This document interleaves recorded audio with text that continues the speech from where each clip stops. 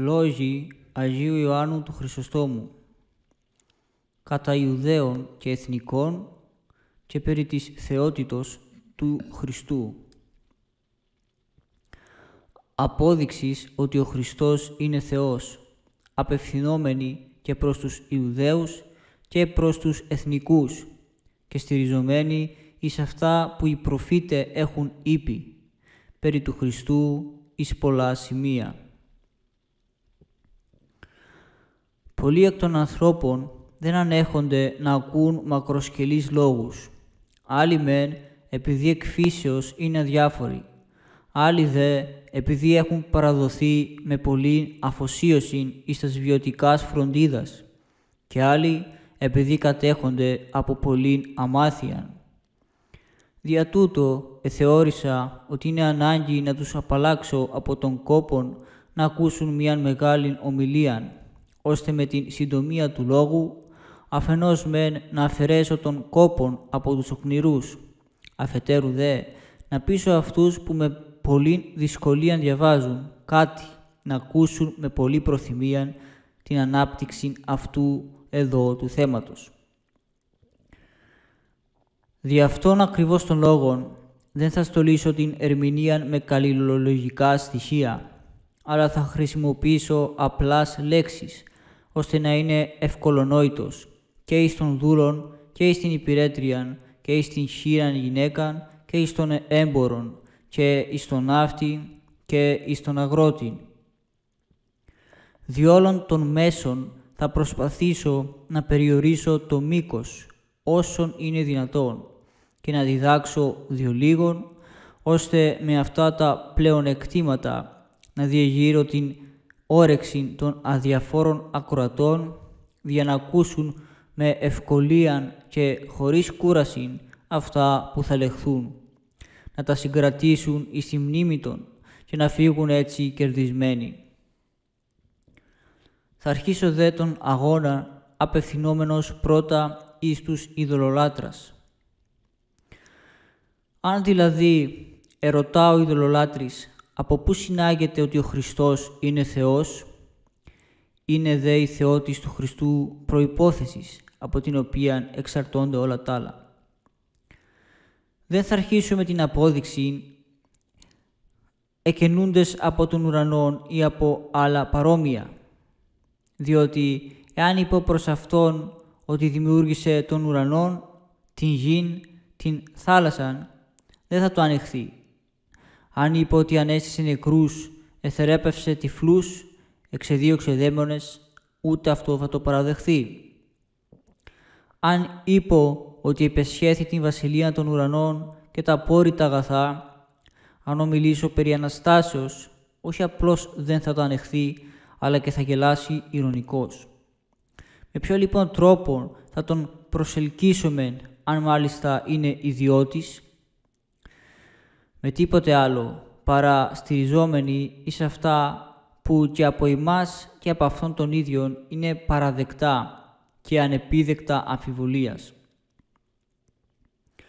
Αν λοιπόν θέσω ως βάση το ότι δημιούργησε τον ουρανό και τα άλλα παρόμοια που ανέφερα, δεν θα ενδέχεται ο ευκόλος να πιστεί. Ποια λοιπόν είναι εκείνα που και αυτός δέχεται ως έλεγα του Χριστού και δια τα οποία καμία αντίρρηση δεν θα μπορούσε να έχει, ότι αυτός εφύτευσε το γένος των χριστιανών. Δεν μπορεί δηλαδή να αρνηθεί ότι αυτός ίδρυσε τας εκκλησίας που υπάρχουν εις όλη την οικουμένη. Με αυτά θα αποδείξουμε την δύναμη και την θεότητά του. Θα είπαμε ότι είναι ανθρωπίνος αδύνατον μια διδασκαλία να εξαπλωθεί εντός τόσο μικρού χρόνου εις τόσο πολλάς χώρας, εις την ξηράν και τας νήσους, όταν μάλιστα καλοί ανθρώπους από που είναι προκαταληλημένοι από τας κακάς συνήθειάς των ή μάλλον κατέχονται από τόσο μεγάλη κακία να εφαρμόσουν τόσο δύσκολα πράγματα. Κι όμως κατόρθωσε να ελευθερώσει από όλα αυτά την ανθρωπότητα, όχι μόνο τους Ρωμαίους, αλλά και τους Πέρσας και γενικώς όλα τα βάρβαρα έθνη. Κατόρθωσε δε ταύτα χωρίς χρήση όπλων, χωρίς δαπάνας χρημάτων, χωρίς να μετακινεί στρατιάς, χωρίς να υποκινεί πολέμους, αλλά εις την αρχήν με ένδεκα μόνο ανθρώπους, ασήμους, απλοϊκούς, αγραμμάτους, ιδιώτας, πτωχούς, κακοντημένους, αόπλους, ανυποδίτους, έχοντας ένα μόνο χιτώνα. Διατί όμως λέω απλώς κατόρθωσε, ειδηνήθη να πείσει πολλάς φυλάς ανθρώπων να φιλοσοφούν όχι μόνο δια την παρούσα ζωή, αλλά και δια τη μέλουσα, να καταργήσουν τους νόμους των πατέρων τους, να ξεριζώσουν παλαιά συνηθίας που είχαν ριζώσει καλώς επί τόσο χρόνων και να φυτέψουν ανταυτόν άλλας. Αφού δε τους επήρε από τα εύκολα, τους οδήγησε εις τον ειδικών του δύσκολο δρόμο. Έκανε δε όλα αυτά ενώ επολεμείτο από όλους και υφίστατο μέσα εις χρεβασμούς των σταυρών και των επονίδιστων εκείνων θάνατων. Δεν μπορούν να τα αρνηθούν αυτά, ότι δηλαδή εσταυρώθη υπό των Ιουδαίων και ότι πέστη τόσα υπ' αυτόν και ότι καθημερινώς προκόπτει το χριστιανικό κήρυγμα. Είναι δε παράδοξον ότι τούτο ευρίσκεται εις άνθηση, όχι μόνο εδώ, αλλά και εις τους Πέρσας, παρά το ότι καταπολεμείται και τώρα ακόμη από Αυτόν. Και μολονότι υπάρχει ήδη και εις αυτούς πλήθος μαρτύρων, εν τούτης, αυτοί που ήσαν αγριότεροι και από τους λύκους, αφού εδέχθησαν το κήρυγμα, έγιναν ημερότεροι των προβάτων. Φιλοσοφούν δε τώρα περί της αθανασίας και της Αναστάσεως και των απορρίτων αγαθών. Τα επιτέγματα δε αυτά δεν περιορίστησαν εις τας πόλεις, αλλά συνέβησαν και στην έρημον και εις τα χωρία και εις τας κομοπόλεις και εις τας νήσους και εις τα μικρά λιμάνια και εις τα επίνια. Και όχι μόνο ιδιώτε, ούτε απλώς άρχοντες, αλλά και οι βασιλείς έχουν υποταγεί με πολλήν αφοσίωση εις των εσταυρωμένων. Ότι δε αυτά δεν έγιναν τυχαίως, αλλά είχαν προφητευθεί προπολού χρόνου, θα προσπαθήσω τώρα να το αποδείξω. Ή μάλλον, για να μην έχετε υποψίας δια τους λόγους μου, θεωρώ αναγκαίο να παρουσιάσω εδώ εις το μέσον τα βιβλία των Ιουδαίων που τον εσταύρωσαν και να ερευνήσω τα περί αυτού μαρτυρίας των γραφών, τας οποίας ακόμη και τώρα τηρούν, εμπρός εις τα μάτια αυτών που δεν πείθονται. Ότι λοιπόν ο Θεός θα γίνει άνθρωπος, παραμένων Θεός, το λέγει πρώτος ο Ιερεμίας. Ούτως ο Θεός ημών, ου λογιστήσετε έτερος προς Αυτόν, εξέβρε πάσαν οδόν επιστήμης και έδωκε εν αυτήν Ιακώβ το παιδί αυτού και Ισραήλ το ηγαπημένο υπ' αυτού. Με τα ταύτα επί της γης όθη και της ανθρώπης συνανεστράφη. Είδες πως μέσα εις ολίγας λέξεις τα εφανέρωσεν όλα, ότι εννοείτο Θεός έγινε άνθρωπος και συνανεστράφει με τους ανθρώπους και ότι αυτός είναι ο νομοθέτης της Παλαιάς Διαθήκης, διότι λέγει «εξέβρεν πάσαν οδόν επιστήμης» και έδωκε να αυτήν Ιακώβ το παιδί αυτού και Ισραήλ το ηγαπημένο υπ' αυτού. Δεικνύει εδώ ότι και πρώτης ενανθρωπίσεώς του αυτός κατήφθηνε τα πάντα και όλα αυτός τα έκαμε με την νομοθεσία, την πρόνοια, την κυδαιμονία, τας ευεργεσίας. Άκουσε επίσης πως άλλος προφήτης λέγει όχι μόνον ότι θα γίνει άνθρωπος, αλλά ότι θα γεννηθεί και εκ Παρθένου. Ιδού η Παρθένος εν γαστρή έξι και τέξεται ιών και καλέσουσι το όνομα αυτού Εμμανουήλ. Το όνομα αυτό ερμηνευόμενον σημαίνει «Ο Θεός είναι μαζί μας». Έπειτα δεικνύουν ότι η ανανθρώπιση δεν είναι το φανταστική, αλλά ότι πράγματι ο Θεός έγινε άνθρωπος, προσέθεσε. Διότι πριν ηγνώνε το πεδίον, καλήν πατέρα αγαθών ή κακών, απειθή πονηρία του εκλέξαστε του αγαθών. Ότι δε θα γίνεται ο άνθρωπος μόνο και θα γεννά το εκ Παρθένου, αλλά ότι θα κατήγεται και εκ του γένους του Δαβίδ, άκουσε πως και αυτό το προφητεύει από παλαιά ο Ισαΐας, χρησιμοποιών βεβαίως αλληγορίας και μεταφοράς, πάντως όμως το προλέγει. «Εξελεύσετε ράβδος εκ της ρίζης Ιεσέ, και άνθος εκ της ρίζης αναβήσετε και αναπάσετε υπ' αυτόν πνεύμα Θεού, πνεύμα σοφίας και συνέσεως, πνεύμα βουλής και ισχύος, πνεύμα γνώσεως και ευσεβίας, πνεύμα φόβου Θεού εμπλήσει Αυτόν. Διότι αυτός ο Ιεσέ ή το πατήρ του Δαβίδ. Φαίνεται δε από αυτό ότι κατήγεται και από εκείνη τη φυλή, ότι δε θα προέλθει όχι μόνο από τη φυλή του Εσέ, αλλά και από τον οίκον του, και αυτό το προεφήτευσε με το να είπε «Εξελεύσετε ράβδος εκ της ρίζης Εσέ», διότι δεν ομιλεί απλώς περί ράβδου, αλλά εννοεί αυτόν και τη βασιλεία του. Και ότι δεν εννοούσε απλώς την ράβδον, το εφανέρωσε δια τον εξής. Όταν δηλαδή είπεν «εξελεύσετε ράβδος», προσέθεσε και αναπαύσετε επ' αυτόν, πνεύμα σοφίας και συνέσεως. Κανείς δε, όσο ανόητος κι αν είναι, δεν θα ισχυριστεί ότι χάρις θα έρχεται εις το ξύλον, αλλά είναι φανερόν ότι θα έρχεται εις τον ναόν εκείνων των Άγιων. Δια τούτο δεν είπε απλώς ήξη, αλλά επαναπαύσετε, επειδή αφού ήλθε παρέμεινε μονίμως και δεν απεχώρησε. Αυτό δε εδήλωνε και ο Ευαγγελιστής Ιωάννης όταν έλεγε «Εγώ τε με το πνεύμα καταβαίνουν ως υπεριστεράν και μόνο επ' αυτόν». Δεν παρεσιώπησαν δε ούτε τη γνώμη των Ιουδαίων που την εξέφρασαν ευθύς ως εγεννήθη.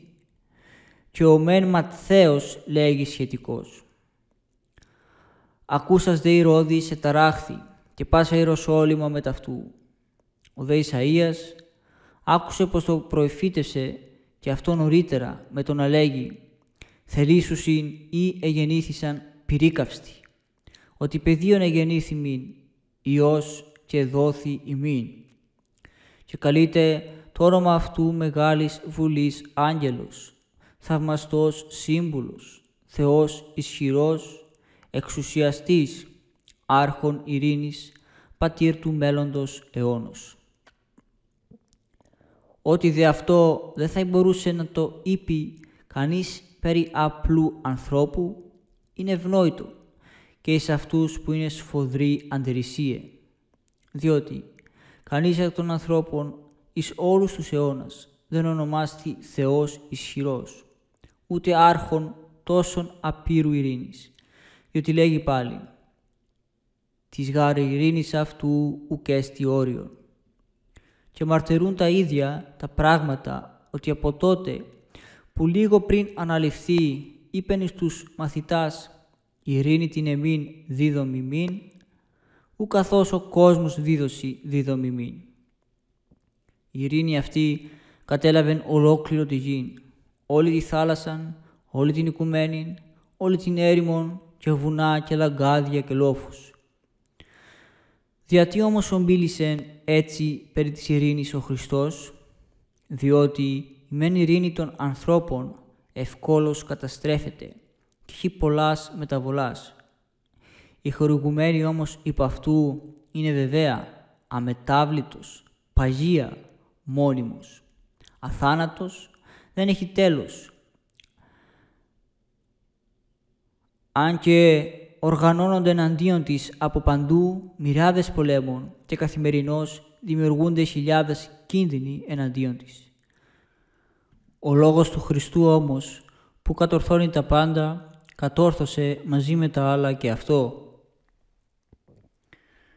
Δεν προεφήτευσαν δε μόνον ότι θα γίνει άνθρωπος, αλλά και των τρόπων της ενανθρωπίσεώς του. Επειδή λοιπόν επρόκειτο να εμφανιστεί χωρίς να ρίψει αστραπάς και κεραυνούς εκ του ουρανού, να σύσει την γην, να κλονίσει τον ουρανόν και χωρίς να προξενήσει εκπληκτικά γεγονότα, αλλά να γεννηθεί αντιθέτως εις την άσημον και ταπεινήν οικίαν ενός ξυλουργού, χωρίς θορύβους και εν αγνία πάντων, άκουσε πως ούτε αυτό το παρεσιώπησε ο Δαβίδ, αλλά είπε «Καταβήσετε ως ιετός επιπόκον, δηλώνουν δι' αυτόν το ατάραχον και ήσυχον της ελεύσεώς του. Όχι δε μόνον αυτό, αλλά άλλος προφήτης παρουσιάζουν και την συναναστροφή του με τους ανθρώπους. Κοίταξε τι λέγει. Επειδή δηλαδή, αν και υβρίζετο, εδέχετο εμπτισμούς λιδωρίας, ετοιμάζετο, εμαστιγούτο, τέλος δε οδηγείτο εις των σταυρών, εν τούτης, εναντίον ουδενός εξ αυτών που έπρατον ταύτα δεν υπερίσπισε τον εαυτό του, αλλά υπέφερε τα πάντα με καρτερικότητα και ηρεμία, τας ατιμίας, τας επιβουλάς, τη μανίαν, το θυμόν του λαού των ανάρμοστων, τας επιθέσεις. Υποδηλών λοιπόν ο προφήτης όλα αυτά έλεγε «Κάλαμον συντετριμένων ου κατεάξει και λύνων τυφόμενον ουσβέσει, έως αν εκβάλεις νίκος την κρίση και π' αυτό έθνη ελπιούσιν. Άλλος δε φανερώνει και τον τόπον όπου επρόκειτο να γεννηθεί, λέγοντα εξής. «Και εσύ Βιθλέμ, γη Ιούδα, ουδαμός ελαχίστη εν της ηγεμόση Ιούδα, εξούγαρ μη εξελεύσεται ηγούμενος, ως της ποιμανή των λαών μου τον Ισραήλ και έξοδη αυτού επαρχής εξ ημερών αιώνος. Αυτός παρουσιάζει και την θεότητα του Χριστού και την ανθρωπότητα, διότι με το να είπε έξοδε αυτού απαρχής εξ ημερών αιώνος, εδήλωσε την προαιώνιον ύπαρξη με το να είπε δε εξελεύσεται ηγούμενος ως τη σπιμανή των λαών μου τον Ισραήλ. Εδήλωσε την κατασάρκα γέννηση. Πρόσεξε πάλι ότι εδώ υπάρχει σαφώς κι άλλη προφητεία. Διότι δεν είπε απλώς ότι θα γεννηθεί, αλλά ότι το χωρίον εις το οποίο θα γεννηθεί θα καταστεί επίσημος τόπος, μολονότι το μικρόν και άσημο. Διότι λέγει ουδαμός ελαχίστη ή εν της ηγεμόσιν Ιούδα. Όλος ο κόσμος λοιπόν τρέχει τώρα να ειδεί την Βιθλέμ, όπου εγεννήθη, όχι δια κανένα άλλο λόγο, αλλά μόνο δι' αυτό. Άλλος προφήτης πάλι εδήλωσε και τον καιρόν κατά τον οποίον επρόκειτο να έρθει, λέγον το εξής. «Ουκ εκλείψει άρχον εξ Ιούδα, ουδέ ηγούμενος εκ των μυρών αυτού, έως αν έλθει ο απόκειται. Και αυτός προσδοκεί εθνών, δεσμεύουν προς άμπελον των πόλων αυτού, και τη έλικη των πόλων της όνου αυτού, πληνεί εν ίνο τη στολήν αυτού, και εν αίμα της ταφυλής την περιβολήν αυτού. Χαροποιεί η οφθαλμή αυτού από ίνου και λευκή οι οδόντες αυτού ή γάλα. Πρόσεξε πόσο διέπρεψε και αυτή η προφητεία, διότι ήλθε τότε όταν δεν υπήρχαν πλέον Ιουδαίοι άρχοντες, αλλά ήσαν υπό την κυριαρχία των Ρωμαίων. Κατά αυτόν τον τρόπο επληρούτο και η προφητεία που λέγει ότι «Ούκε κλείψει άρχον εξ Ιούδα, ουδέ ηγούμενος εκ των μυρών αυτού» έως αν έλθει ο απόκειται, εννοούσα το Χριστόν. Διότι συγχρόνως με την γέννησή του έγινε και η πρώτη εκείνη απογραφή μετά την επικράτηση των Ρωμαίων επί του Ιουδαϊκού έθνους και την υποταγή του υπό των ζυγών της εξουσίας των. Έπειτα υποδηλώνει και κάτι άλλο με το «και αυτός προσδοκεί εθνών», ότι δηλαδή αφού ενηθρώπισε προσήλκησε όλους τους εθνικούς. Επρόκειτο η Ρώδης, ζητώ να μάθει που είχε τεχθεί να φωνεύσει τα παιδεία. Ούτε και αυτό το παρεσιώπησε η προφήτε, αλλά το προεφήτευσαν προπολών χρόνων, με το να είπουν «Φωνή εν ραμάι κούστη, θρήνος και κλαθμός και ο δυρμός πολλής, Ραχήλ κλαίουσα τα τέκνα αυτής και ούκ ήθελε παρακληθήνε ότι ούκ εισήν. Επρόκειτο να επανέλθει από την Αίγυπτον και αυτό το εδήλωσαν με τον Αΐπων. Εξ Αιγύπτου εκάλεσα τον Υιό μου. Αλλά επρόκειτο επίσης εις ορισμένα μέρη να διδάξει δημοσίως και να επιτελέσει θάματα. Και αυτό επροφητεύθη. Άκουσε τι λέγει ο Ισαΐας. Χώρα Ζαβουλών, γίνε Εφθαλήμ, ο λαός ο καθήμενος εν σκότη είδε φως μέγα, και της καθημένης εν σκότη και σκιά θανάτου φως ανέτειλεν αυτής. Δι' αυτόν δηλώνει την εκεί παρουσία του Χριστού και την εκ των θαυμάτων και της διδασκαλίας επίγνωσή του. Κατόπιν διηγείται και άλλα θαύματα και δεικνύει πως εθεράπευσε χολούς, έδωσε το φως εις τυφλούς, την ομιλίαν εις αλάλους. Τότε ανοιχθίσονται, λέγει, οφθαλμοί τυφλών και ότα κοφών ακούσονται. Και με το λίγον τότε αλείται ως έλαφος ο χολός και τρανίεστε γλώσσα μογιλάλων. Πράγμα που ποτέ άλλοτε δεν συνέβη, παρά μόνον κατά των καιρών της παρουσίας του. Υπάρχει δε εις τους προφήτας και ειδική μνήαν ορισμένων θαυμάτων. Εισήλθε λοιπόν κάποτε εις τον ναόν και τα παιδεία που εθύλαζον και δεν μπορούσαν ακόμη να αρθρώσουν λέξεις, έψαλον δι' αυτόν ιερούς ύμνους, ως εξής. «Ως ανά εν της υψίστης, ελογημένος ο ερχόμενος εν ονόματι Κυρίου». Αυτό του είχε προφητεύσει από παλαιά ο προφήτης, λέγοντα εξής. «Εκ στόματος νηπίων και θυλαζόντων κατερτήσω ένων, του καταλύσε εχθρών και εκδικητήν». Βλέπεις ότι η φύση παλεύει με τον εαυτόν της και έτσι τα άκακα βρέφη που δεν μπορούν ακόμη να αρθρώσουν λέξη κηρύττουν των δημιουργών και να λαμβάνουν αποστολικών έργων. Επειδή δε όταν ομίλη προς τους Ιουδαίους, πολλάκις λόγω της αγνωμοσύνης των τα περισσότερα τα έλεγε συγκεκαλυμμένα ως ενίγματα και παραβολάς και αυτό προεφητεύθη. με προβλήματα από καταβολής κόσμου, ρεύξομαι και κρυμμένα απαρχής. Αλλά και την σοφία του κηρύγματος του προφητεύων ο προφήτης λέγει εξεχήθη χάρις εν χείλεσή σου.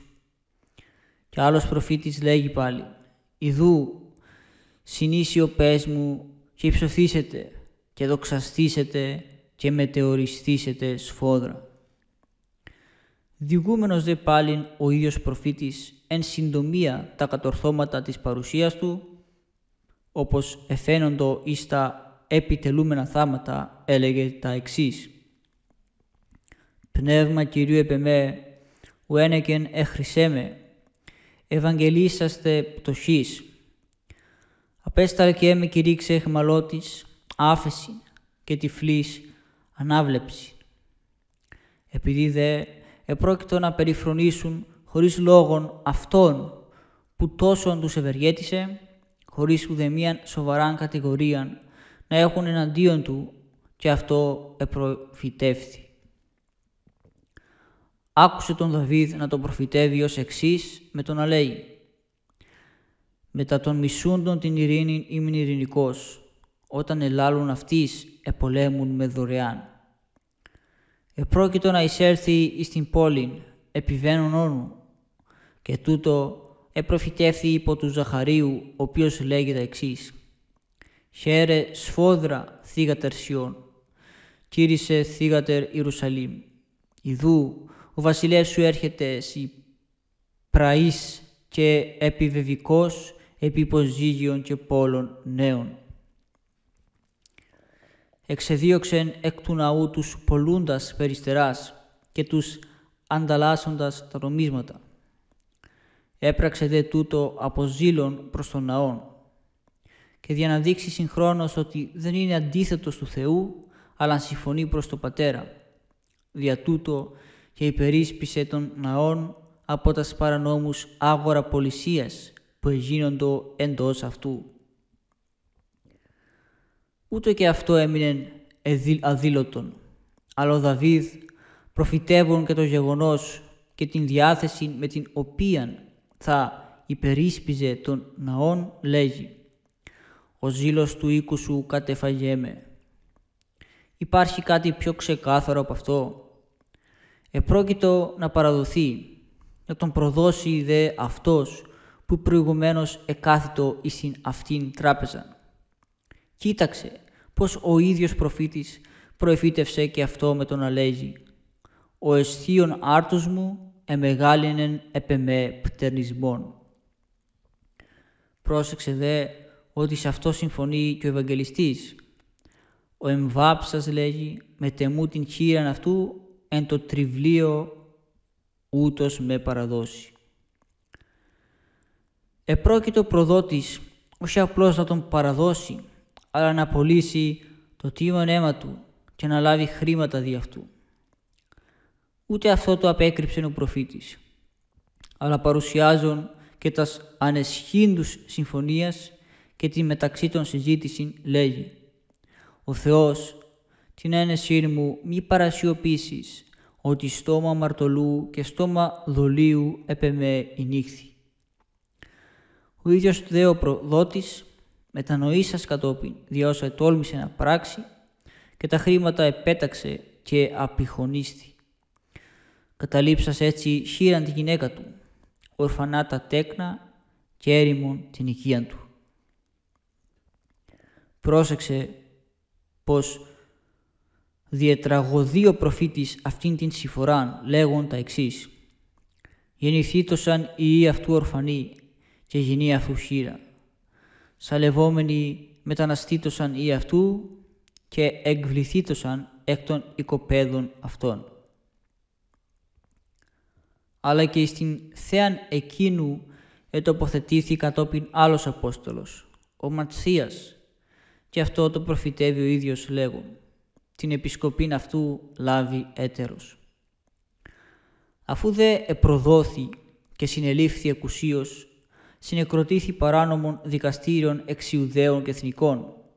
Και αυτό το προλέγει ο προφήτης. Οι νατοί εφρίαξαν έθνη και λαοί εμελέτησαν κενά. Δεν προείπουν δε μόνο αυτά, αλλά και την σιγήν που ετήρησε νηστάμενος άφωνος, ενώ γύρω του εξεστομίζοντο πολλοί λόγοι και κατηγορίε εναντίον του, την εδήλωσε ο Ισαΐας λέγον «Ως πρόβατον επισφαγή ηχθή και ως αμνός εναντίον του κύροντος αυτόν άφωνος. Ούτως ουκ ανοίγει το στόμα αυτού. Διεκίνιον δε κατόπιν το εσχρόν της αποφάσεως προσέθεσε. Εν τη ταπεινώση αυτού η κρίσης αυτού ήρθη. Δηλαδή, ουδής έκρινε περί αυτού δικαίως. Έπειτα εξηγεί και την αιτία του θανάτου. Επειδή δηλαδή όσα έπασχε δεν τα έπασχε λόγω των αμαρτιών του, διότι ο ίδιος ήταν αναμάρτητος και ανεπίληπτος. Αλλά παρεδίδετο δια της αμαρτίας του κόσμου. Πρόσεξε πώς υπηνύχθηκε τα δύο με τον αείπη ως αμαρτίαν ούκ επίσεν, ουδέν ευρέθη δόλος εν το στόματι αυτού. Δι' αυτού εδήλωσε, δια ποιον λόγων εφωνεύθη. Κατόπιν προστίθησε και άλλη αιτία. Εκ των αμαρτιών λέγει του λαού μου οίκη εις θάνατον. Επειδή δε ήθελε να δείξει όχι μόνο την αιτία του θανάτου, αλλά και το κέρδος που απέρευσε από το σταυρό και το θάνατο. Πρόσεξε πως και αυτό το προφητεύει λέγον. Πάντες ως πρόβατα επλανήθημε. Άνθρωπος τι οδό αυτού επλανήθη. Πεδίο ειρήνη ημών επ' αυτό, το μόλο πει αυτού ημείς πάντες οι άθημε. Έπειτα, επειδή επρόκειτο να τιμωρηθούν οι Ιουδαίοι, διόσα ετόλμησαν, το δηλώνει και αυτό ο ίδιος ο προφήτης εκεί που λέγει «Δώσω τους πονήριους αντί της ταφής αυτών και τους πλουσίους αντί του θανάτου αυτού και εν το θυμό αυτού ταράξει αυτούς». Ενρίψαμε το ζυγόν αυτού αφημών, προσέθεσε. Ο κατοικών εν ουρανής εγγελάσεται αυτούς, τότε λαλήσει προς αυτούς εν οργή αυτού και εν θυμό αυτού ταράξει αυτούς. Εννοών τη διασπορά των εις όλων τον κόσμο. Αυτό δε το εδήλωσε και ο Χριστός εις τα Ευαγγέλια λέγον «Τους δε μη θελήσαντας με βασιλεύσε επ' αυτόν αγάγεται ο δε και κατασφάξατε αυτούς». Έπειτα, αφού μίλησαν δια των θάνατων, δεν παρεσιώπησαν και των τρόπων του θανάτου. Αλλά ο Δαβίδ εδήλωσε και τούτο δια των εξής. Όριξαν χείρας μου και πόδας μου, εξηρύθμισαν πάντα τα οστά μου. Δεν παρεσιώπησαν επίσης τη μετά της σταύρωση παρανομία, διότι λέγει πάλι «Διεμερίσαν το τα ημάτια μου εαυτής και επί των ηματισμών μου έβαλον κλήρων». Έπειτα εδήλωσε και ότι επρόκειτο να ταφεί με τον αείπη. Έθεντο με λάκο κατωτάτο εν σκοτεινής και εν σκιά θανάτου. Και ότι επρόκειτο να αναστηθεί, πρόσεξε ότι και αυτό το προείπε όταν λέγει «Ουκ εγκαταλείψεις την ψυχή μου εισάδου, ουδέ δώσεις των όσιών σου ειδή διαφθοράν». Το ίδιο δηλώνει πάλι ο Ισαΐας κατά διαφορετικών τρόπων και Κύριος Αυτόν βούλεται καθαρίσε από τις πληγής. Δείξε αυτό φως, δικαιώσε δίκαιον, εφ δουλεύσοντα πολλής. Ότι ο θάνατος αυτού είχε ως συνέπεια την συγχώρηση των ανθρωπίνων αμαρτιών και αυτό το παρέστησε με το να είπε «Και αυτός αμαρτίας πολλών ανήνεγεν» ότι απείλαξε τους ανθρώπους από τους δαίμονας και αυτό το εδήλωσε. Και του ισχυρού λέγει «Μη είτε σκύλα». Ότι αυτό το επέτυχε δια του θανάτου δεν το παρασιώπησε. Ούτε αυτό. Αλλά λέγει «Ανθών παρεδόθη άνατον η ψυχή αυτού». Ότι επρόκειτο να κυβερνήσει τον κόσμο και αυτό το εδήλωσε με το «και αυτός κληρονομήσει πολλούς».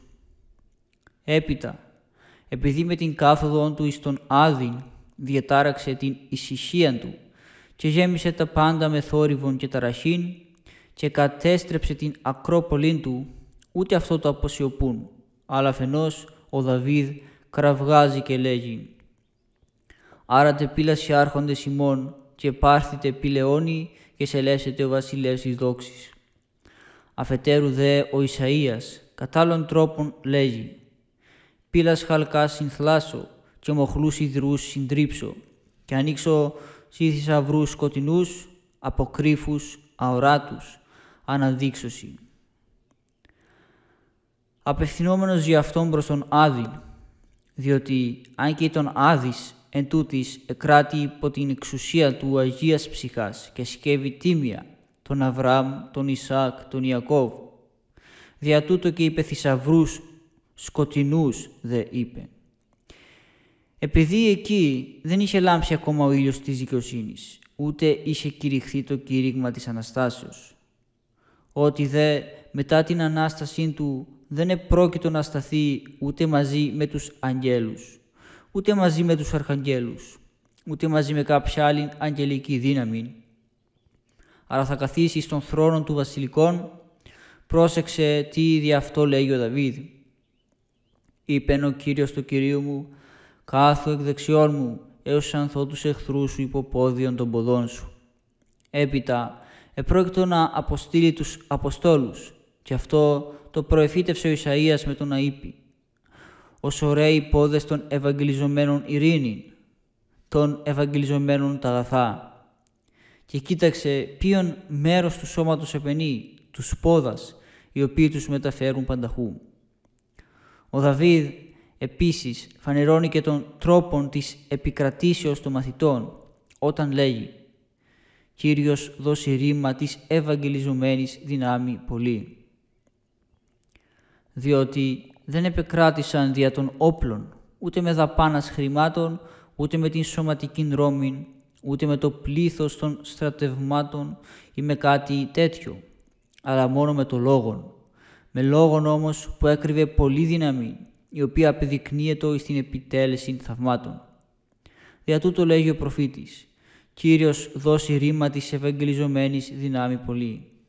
Εννοώ δια της δυνάμεως τα θαύματα, διότι απεδείκνυε πράγματι ανέκφραστον δύναμη το ότι ο Αλιεύς και ο Τελώνης και ο Σκηνοποιός διαπλής προσταγής ενήργουν αναστάσεις νεκρών, ξεδίωκαν δαίμονας, απεμάκρυναν τον θάνατον, απεστόμωναν τους φιλοσόφους, έκλειναν τα στόματα των ρητόρων, ενικούσαν βασιλείς και άρχοντας, βαρβάρους, Έλληνας και οποιοδήποτε έθνος. Και καλώς ομίλησε έτσι ο προφήτης, διότι όλα αυτά τα έπρατον με εκείνον των λόγων και με την πολλήν αυτού δύναμη μετέφερον τους νεκρούς στη ζωή, μετέβαλον τους αμαρτωλούς εις δικαίους, τους τυφλούς εις βλέποντας και θεράπευουν συγχρόνως και τα σωματικάς και τας ψυχικάς ασθενείας. Από πού όμως αντλούσαν αυτή τη δύναμη, από το Άγιο Πνεύμα. Αυτό δε φαίνεται από το λεγόμενο πνεύματος ήσαν πεπληρωμένοι. Προεφήτευαν δε και άνδρες και γυναίκες. Γλώσσε δε υπό τη μορφή πυρός εκάθισαν επάνω από τον κάθε Απόστολο. Και αυτό το προεφήτευσε ο Ιωήλ, λέγον το εξής.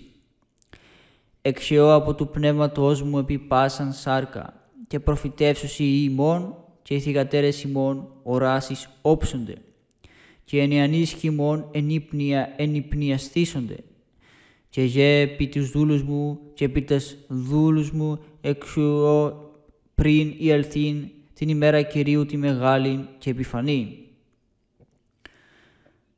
Δια του μεγάλη και επιφανής ημέρα εννοεί και αυτήν κατά την οποία επεφύτησε το πνεύμα και αυτήν που θα έρθει εις το μέλλον.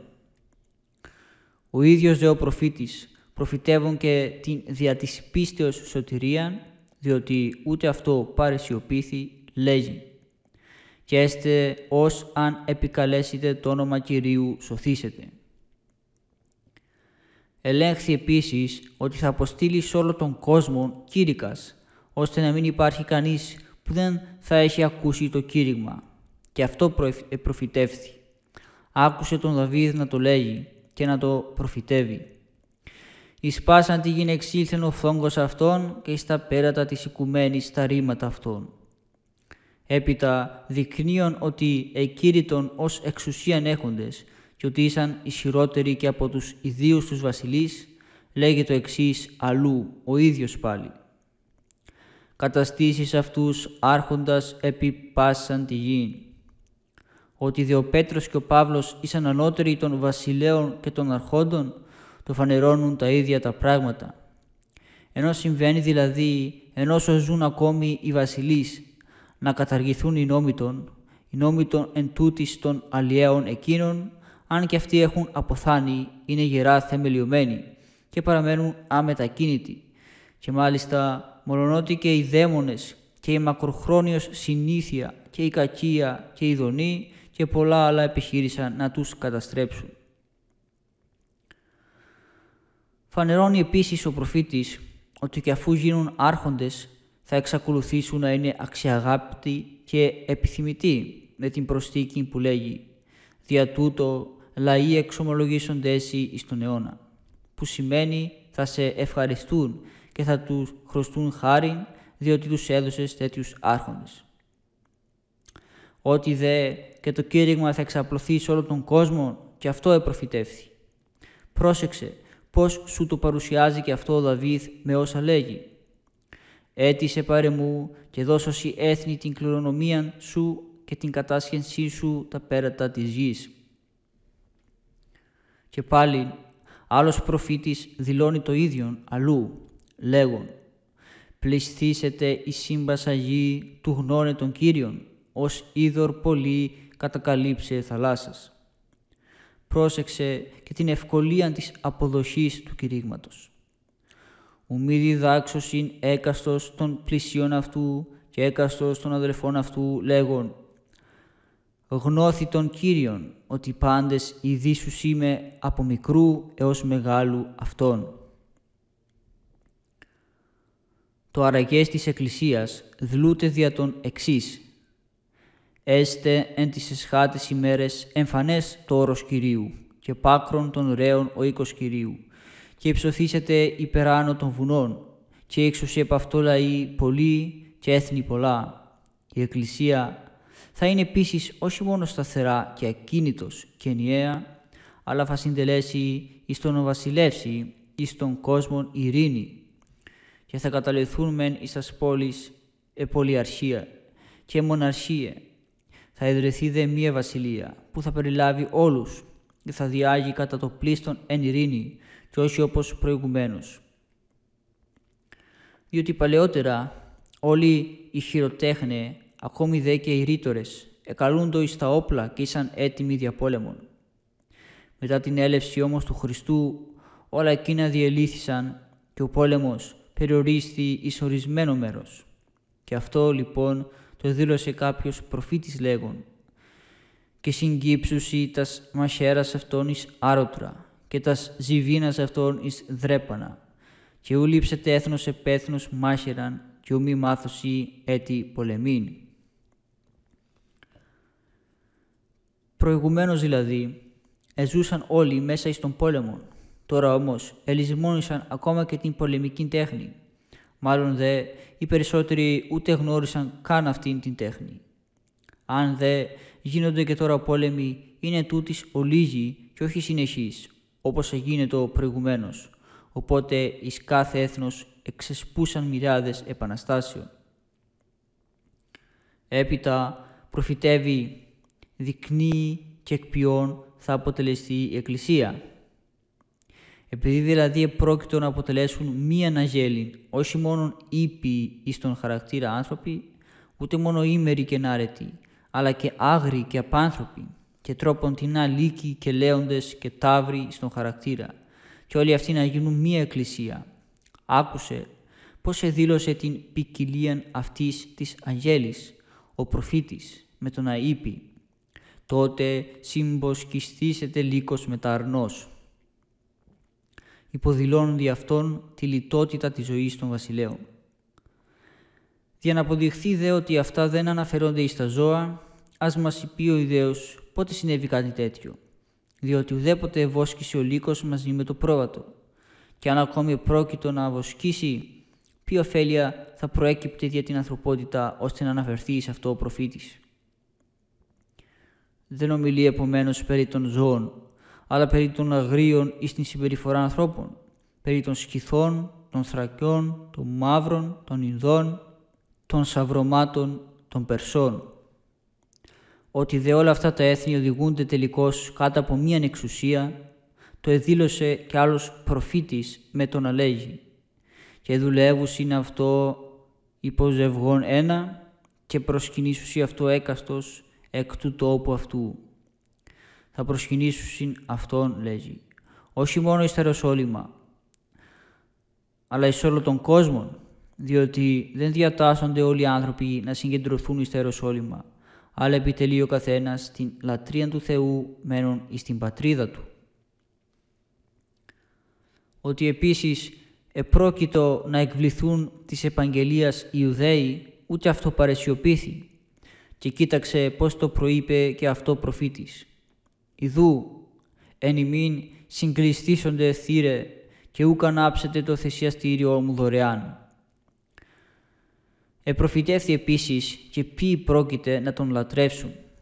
Από Ανατολών ηλίου λέγει μέχρι δυσβών το όνομά μου δε δόξαστε εν της έθνεσης. Και πάλι, επαντή τόπο θυμίαμα προσάγεται μη και θυσία καθαρά.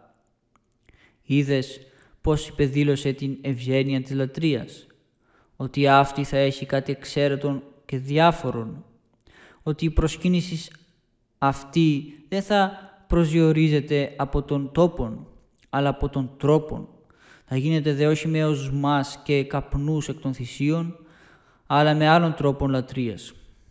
Πώς όμως, διερωτάται κανείς, κατόρθωσαν και τους προσήλκησαν όλους οι Απόστολοι, αυτός που εγνώριζε μία γλώσσα μόνον, την Ιουδαϊκή, πως έπεισε τον Σκήθιν και τον Ινδόν και τον Σαυρομάτη και τον Θράκα, έλαβε το χάρισμα της πολυγλωσσίας διαδωρεάς του Αγίου Πνεύματος. Και αυτό μεν προκειμένου περί των εθνικών. Προκειμένου δε περί του Ισραήλ έλαβε το χάρισμα της γνώσεως των διαλέκτων.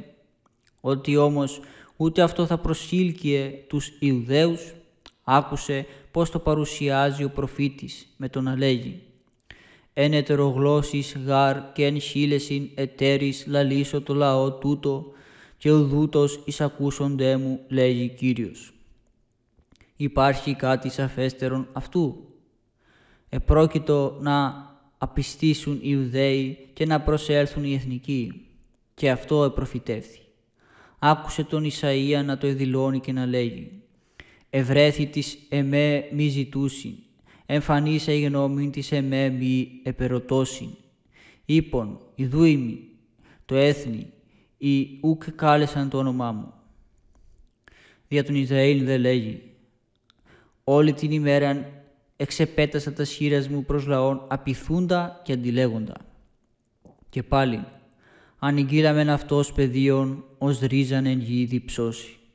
Και πάλι, Κύριε, τι επίστευσε τι ακοήμων και ο βρασιών Κυρίου τίνη απεκαλύφθη; Δεν είπε ποιος επίστευσε στην διδασκαλία μας, αλλά εις αυτά που οικούσαμε, δεικνύουν δι' αυτού ότι δεν έλεγαν τίποτε ειδικόντων, αλλά όσα ήκουσαν από τον Θεόν, αυτά εκήρυτον. Ότι επρόκειτο να προτιμηθεί ο χριστιανισμός του Ιουδαϊσμού και να γίνει πολύ τιμιότερος και αυτό το δήλωσε ο Μωυσής με τον να είπε «Παραζηλώσου ημάς επού και έθνη Πέθνει ασυνέτο παροργιό ημάς, ενώ την προηγουμένη μηδαμινότητα των εθνικών με το επούκ έθνη, διότι δεν υπελογίζονται καν ως έθνος δια την πολλήν ευτέλειαν, για τιμωρίαν, για την ανοησίαν. Λόγω της εις των Χριστών πίστεως όμως επήλθε τέτοια μεταβολή ώστε να χαρούν πολύ τιμιότεροι από εκείνους που εξετιμώνται προηγουμένως. Ότι δι' αυτό θα έφυγε τους Ιουδαίους και θα γίνοντο δια τούτο καλύτεροι και αυτό φαίνεται εκ των προφητικών λόγων, διότι δεν είπον απλώς θα σας προτιμήσω, αλλά και την προτίμηση έδειξεν και την διόρθωση η οποία πρόκειτο να προέλθει από την ζήλια. Παραζηλώσου μας, λέγει, επούκ έθνη, ως να έλεγε δηλαδή θα δώσω τόσο πολλά αγαθά εις αυτούς, ώστε να ζηλέψετε και να πληγωθείτε. Αυτό λοιπόν τους έκαμε καλύτερους. Αυτοί δηλαδή που είδαν την θάλασσα να σχίζεται, τας σπέτρας να σπάζουν, τον άνεμον να αλλάσει πορεία και τόσα άλλα θαυμαστά, ή μάλλον αυτοί που εθυσίαζαν τα τέκνατον και λάτρευαν τον Βελφεγόρ και προσεκολήθησαν εις πολλάς μαγείας, αυτό λοιπόν, επειδή εισήλθομεν εμείς εις τον χριστιανισμό και η δική μας πίστη έγινε κατά πολύ προτιμωτέρα της ειδικής των, τόσο πολύ επληγώθησαν από την ζελοτυπία των και έγιναν καλύτεροι και συμμαζεμένοι, ώστε όσα δεν κατόρθωσαν να κάνουν, ακούονται στους προφήτας και βλέποντας θάματα, τα επέτυχαν εξαιτίας της ζηλοτυπίας των διημάς, διότι κανείς πλέον εξ αυτών δεν σφάζει τα τέκνα του, ούτε τρέχει στα είδωλα, ούτε προσκυνεί των μόσχων. το αγαθόν της Παρθενίας δεν υπήρχε ούτε κατόνομα εις την Παλαιά Διαθήκη. Επειδή όμως επρόκειτο να διαλάμψει στην Καινή Διαθήκη, πρόσεξε πως και αυτό το προλέγει ο Δαβίδ, λέγον τα εξής. «Απενεχθήσονται το βασιλεί ο πίσω αυτής, αχθήσονται εις ναών βασιλέως.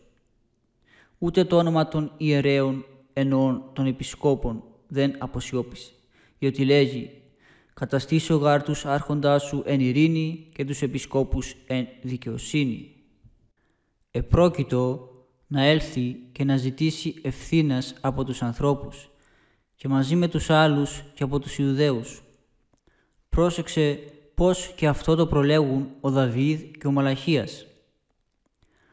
Ο Μαλαχίας λέγει τα εξής «Και εισήλθεν ως χωνευτήριον, ως πόα πληνάντων και διακαθαρεί το αργύριον και το χρυσίον», τα οποία είναι πολύ συγγενή με αυτά που ο Παύλος είπε γράφουν έτσι.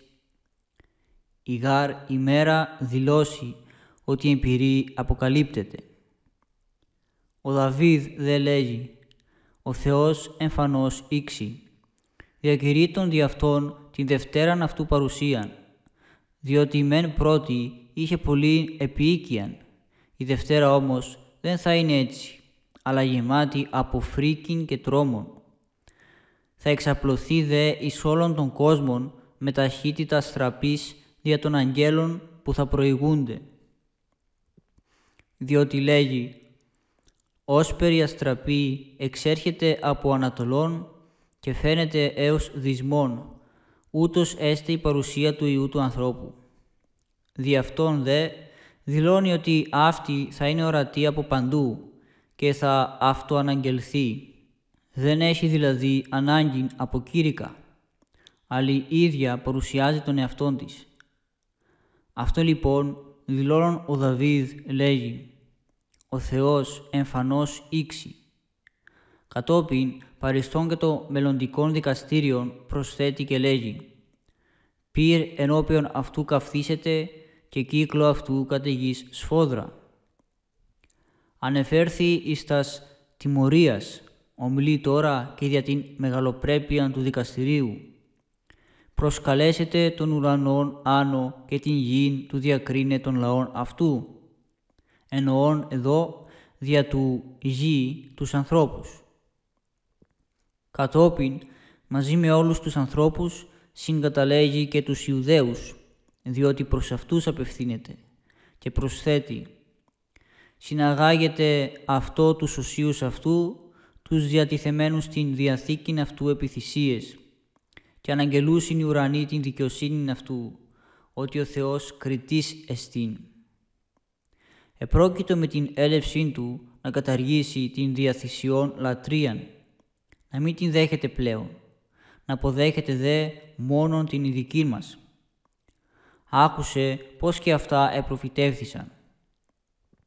Θυσίαν και προσφοράν ούκη θέλησας, σώμα δε κατριτήσομη. Αυτό το εδήλωσε και αλλού, λέγον, «Λαός όνου και έγνο εδούλευσέ μη, εις ακοήν τίου υπηκουσέ μου». Δηλαδή, Επίστευσε χωρίς να ειδεί την θάλασσα να σχίζεται, ούτε τας πέτρας να ραγίζουν, αλλά μόνον από την ακρόαση του κηρύγματος των Αποστόλων μου. Και εδώ πάλι λέγει «Σώμα δε κατερτίσομη». Αφού δε είπεν αυτό, προσθέτει και άλλα και λέγει «Τότε είπον, ιδού οίκο, εγκεφαλίδι βιβλίου γέγραπτε περί εμού». Δύο πράγματα δηλούνται δι' αυτόν, ότι θα έλθει αφενός και ότι θα έλθει τότε που θα καταργηθούν εθυσίε αφετέρου, πράγμα που έγινε όταν η Ιουδαϊκή εξουσία υπετάγει εις την Ρωμαϊκή. Εύρωμεν δε και τον Βαρούχ να ομιλεί ως εξής περί της ενανθρωπίσεώς του. Επί της γης όθη και της ανθρώπης συνανεστράφη λέγει δε σχετικός κομμωσής.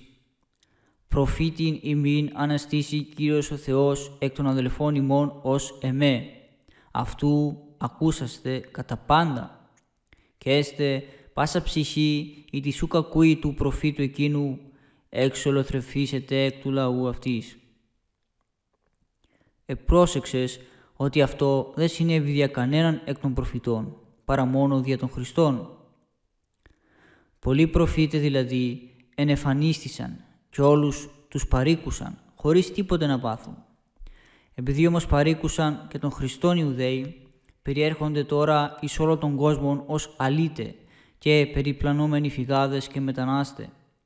Απεξενώθησαν από την πατρίδα των, έχασαν τα πατρικά των ήθη και τους νόμους και ζουν εις ατιμίαν, κόλασιν και τιμωρίαν. Αυτά δε που έχουν πάθει επί του Βυσπασιανού και του Τίτου, ούτε να τα είπε κανείς είναι δυνατόν. Τόσο πολύ υπερεύει κάθε συμφορά εκείνη η τραγωδία. Επραγματοποιείτο δε δι' αυτών το προφητικών λόγιων ότι πας ως αν μη ακούσει του προφήτου εκείνου εξολοθρευθήσετε. Δι' αυτό ηρημώθησαν όλα τα ειδικά των, επειδή παρήκουσαν εκείνον τον προφήτη. Ότι θα αναστήσει όλους, και αυτό το εδήλωσε ο Ισαΐας με τον Αΐπη.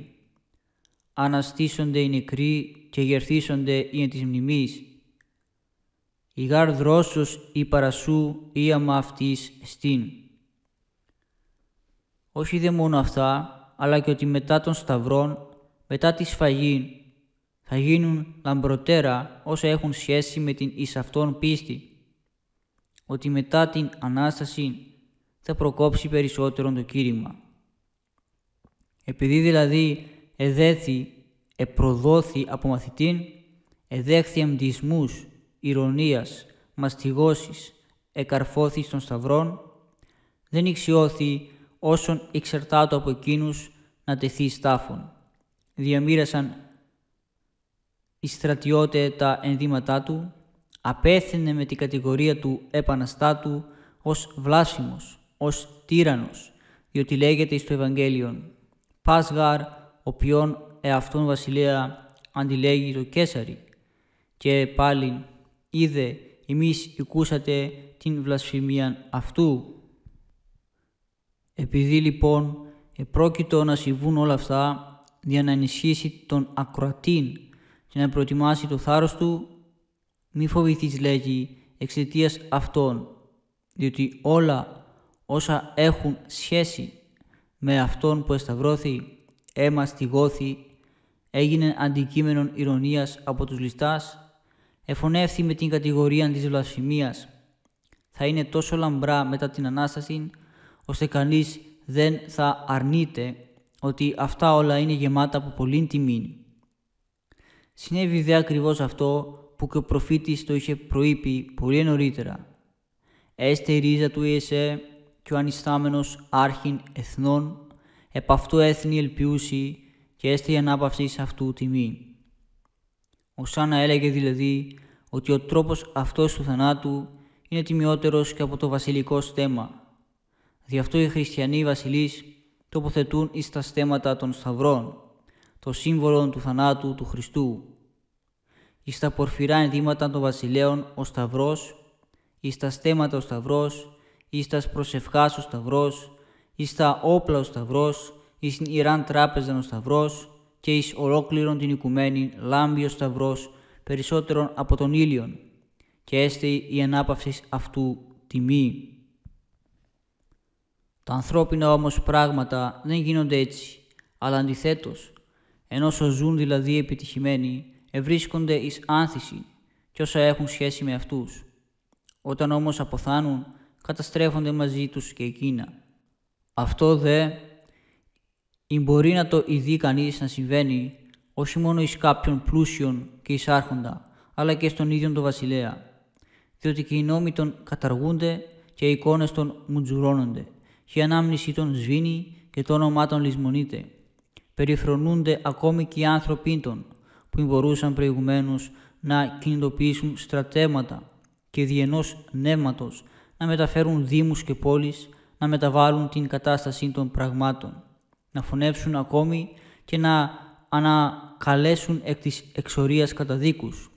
Αλλά όμως όλα καταστρέφονται, έστω κι αν προηγουμένως ευδοκιμούσαν. Στην περίπτωση του Χριστού όμως συνέβη ακριβώς το αντίθετο, διότι πρώτου σταυρού τα πράγματα ενέπνεων απογοήτευση. Ο Ιούδας επρόδωσε, ο Πέτρος τον ειρνήθη, οι υπόλοιποι μαθητέ διασκορπίστησαν, απέμεινε μόνος μεταξύ των εχθρών. Πολλοί που είχαν πιστέψει οπισθοχώρησαν. Μετά τη σφαγή και το θάνατον όμως, για να μάθεις ότι δεν είναι το απλούς άνθρωπος ο Σταυρωθής, η όλη κατάστασης έγινε λαμπροτέρα, θεδροτέρα, υπερέχουσα κατά πολύ της προηγουμένης. Ο κορυφαίος των Αποστόλων, ο Πέτρος, πρώτου Σταυρού, ούτε στην απειλή μιας θηρορού δεν άντεξε, αλλά μετά από τόση μυσταγωγία ισχυρίσχει ότι δεν το γνωρίζει. Μετά τον Σταυρόν όμως, περιέτρεξε όλη την οικουμένη. Γι' αυτό άλλωστε εσφάγισαν τόσα πλήθη μαρτύρων, επειδή δηλαδή επροτίμησαν να αποθάνουν παρά να είπουν αυτό που είπε ο Πέτρος, φοβηθεί στην απειλή μιας θηρορού. Από τις εποχές λοιπόν του Πέτρου, όλα χώρε και πόλεις και η ακατοίκητος έρημος και τα μέρη που κατοικούνται δε κηρύττωμεν την πίστη μας εις των εσταυρωμένων. Ακόμη δε και βασιλείς και στρατηγοί και άρχοντες και ύπατοι και δούλοι και ελεύθεροι και ιδιώτε και σοφοί και άσοφοι και βάρβαροι και όλα οι φιλέ των ανθρώπων και γενικώς όλοι οι φίλιος. Εις όλη λοιπόν την οικουμένη διεδόθη το όνομα και η λατρεία του Χριστού για να μάθεις τι σημαίνει το έστε η ανάπαυση σε αυτού τιμή. Ο δε τόπος που εδέχθη το σώμα του εσταυρωμένου, ενώ ήταν μικρός και άσημος, είναι τώρα σεμνότερος από πολλάς βασαλικάς αυλάς και τιμιότερος και αυτόν των βασιλέων ακόμη.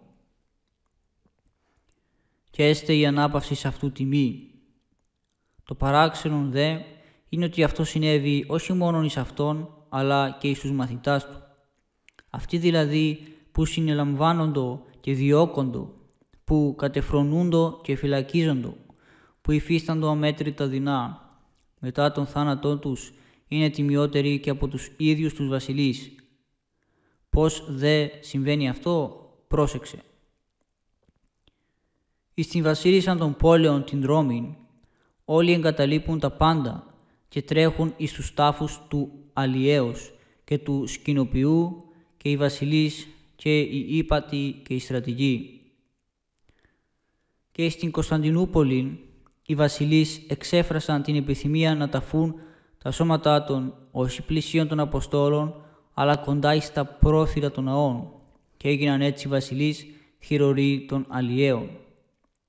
Δι' αυτήν τον την ταφήν δε δεν εσχύνονται, αλλά καυχόνται, όχι μόνο αυτοί, αλλά και οι απόγονοί των και έστε λέγει η ανάπαυση αυτού τιμή.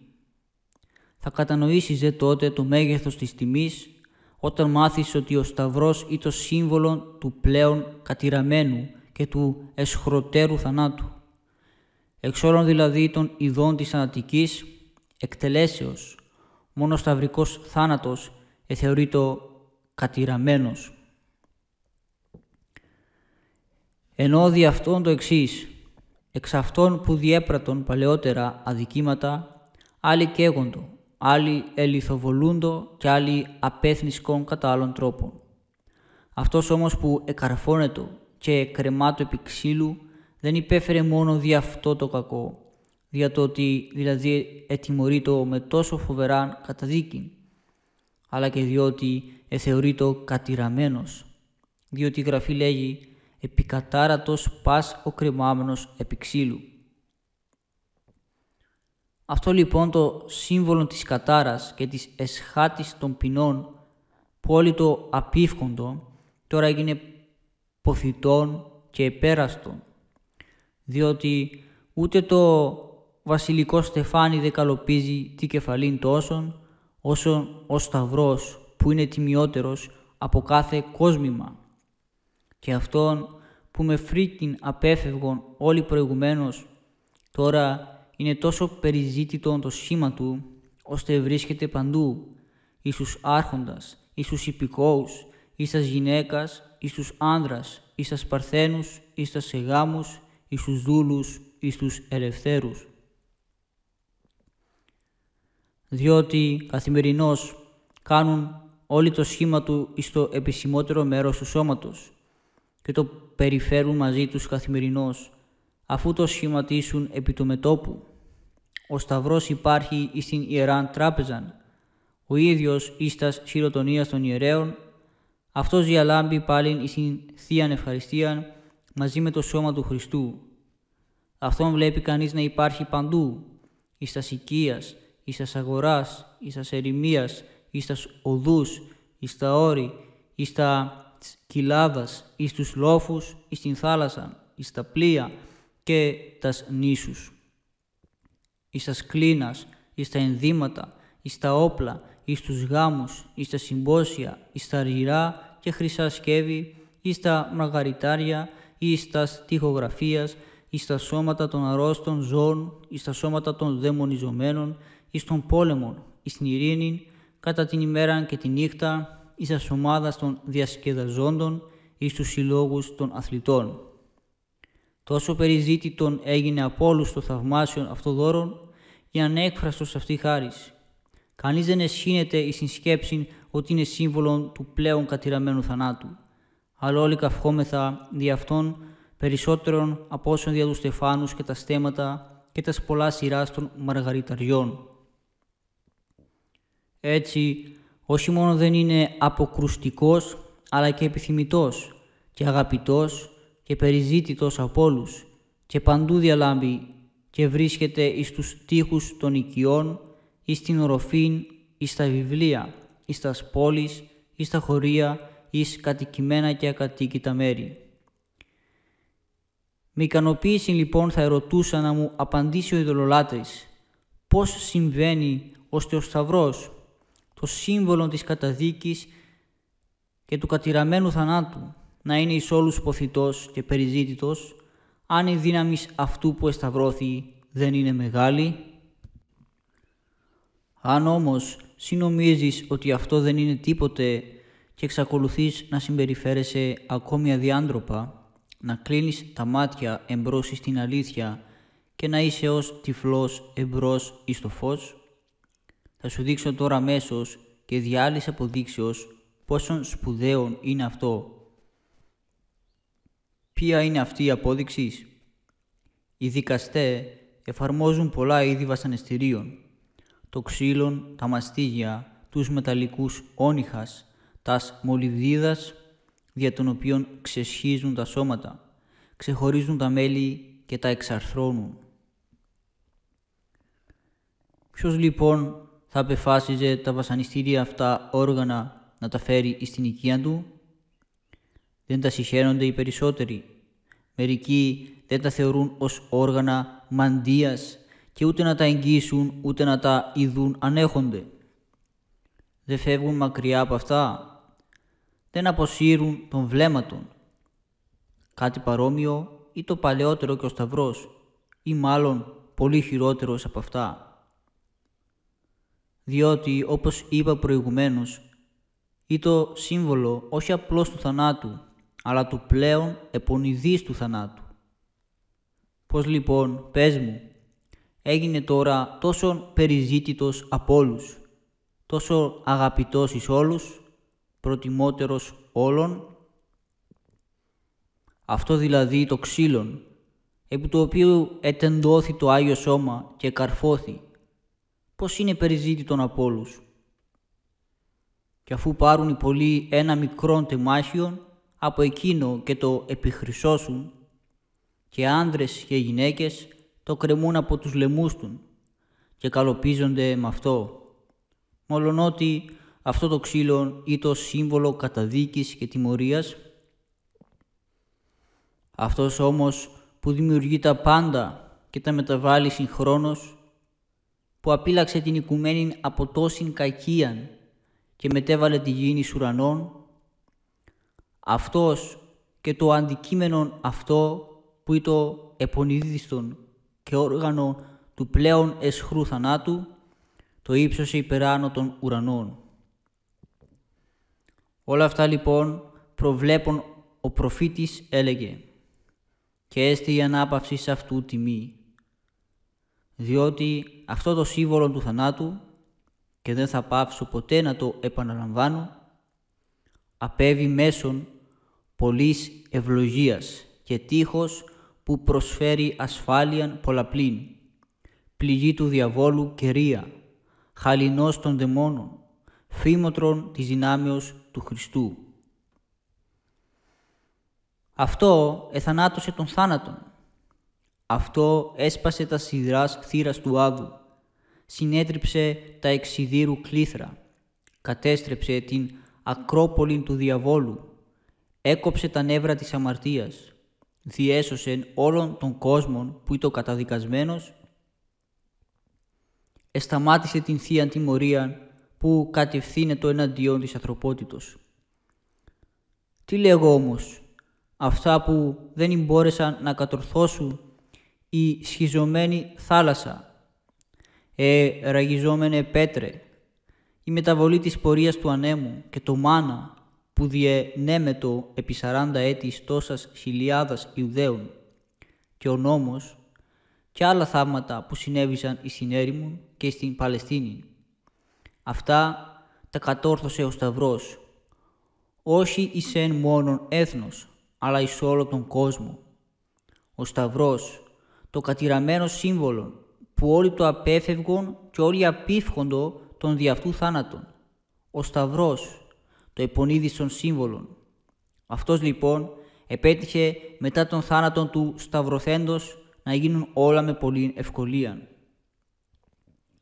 Όχι δε μόνο αυτά, αλλά και όσα συνέβησαν κατόπιν, αποδεικνύουν τη δύναμή του, διότι ολόκληρον την οικουμένη που ήταν άγωνος ως προς την αρετή και βρίσκεται εις κατάσταση πνευματικής ερημόσεως και δεν περίμενε κανείς να παραγάγει κάτι καλόν, αμέσως τη μετέβαλε εις παράδεισον και εις πολύτεκνον μητέρα.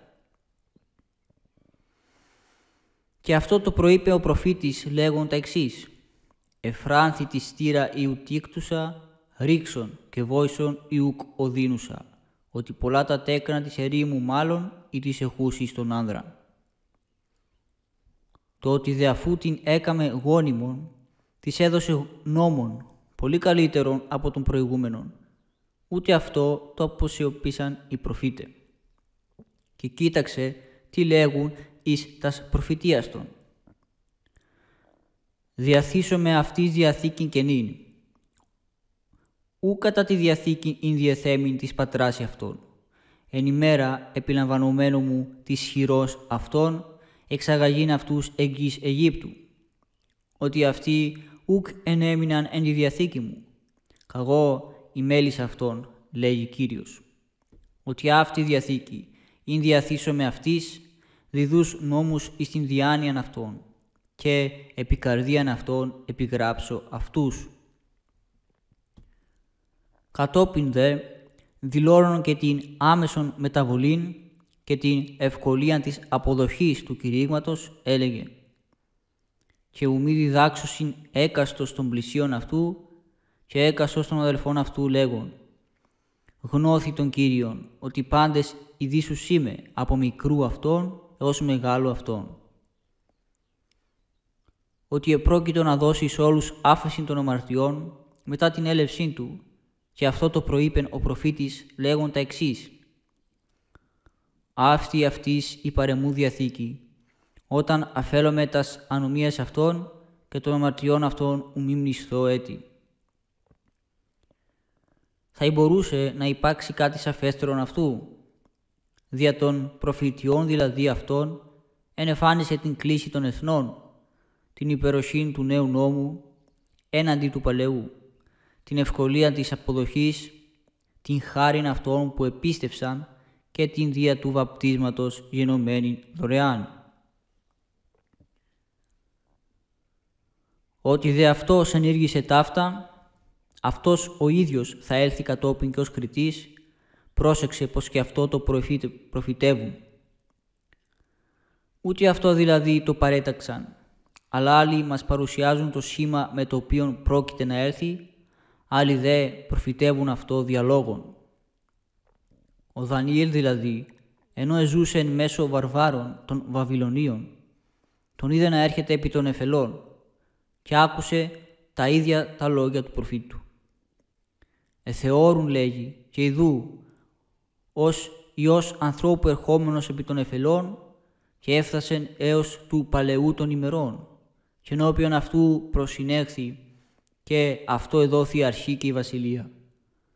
Και πάντες οι λαοί, φιλέ γλώσσε, αυτό δουλεύσουσι.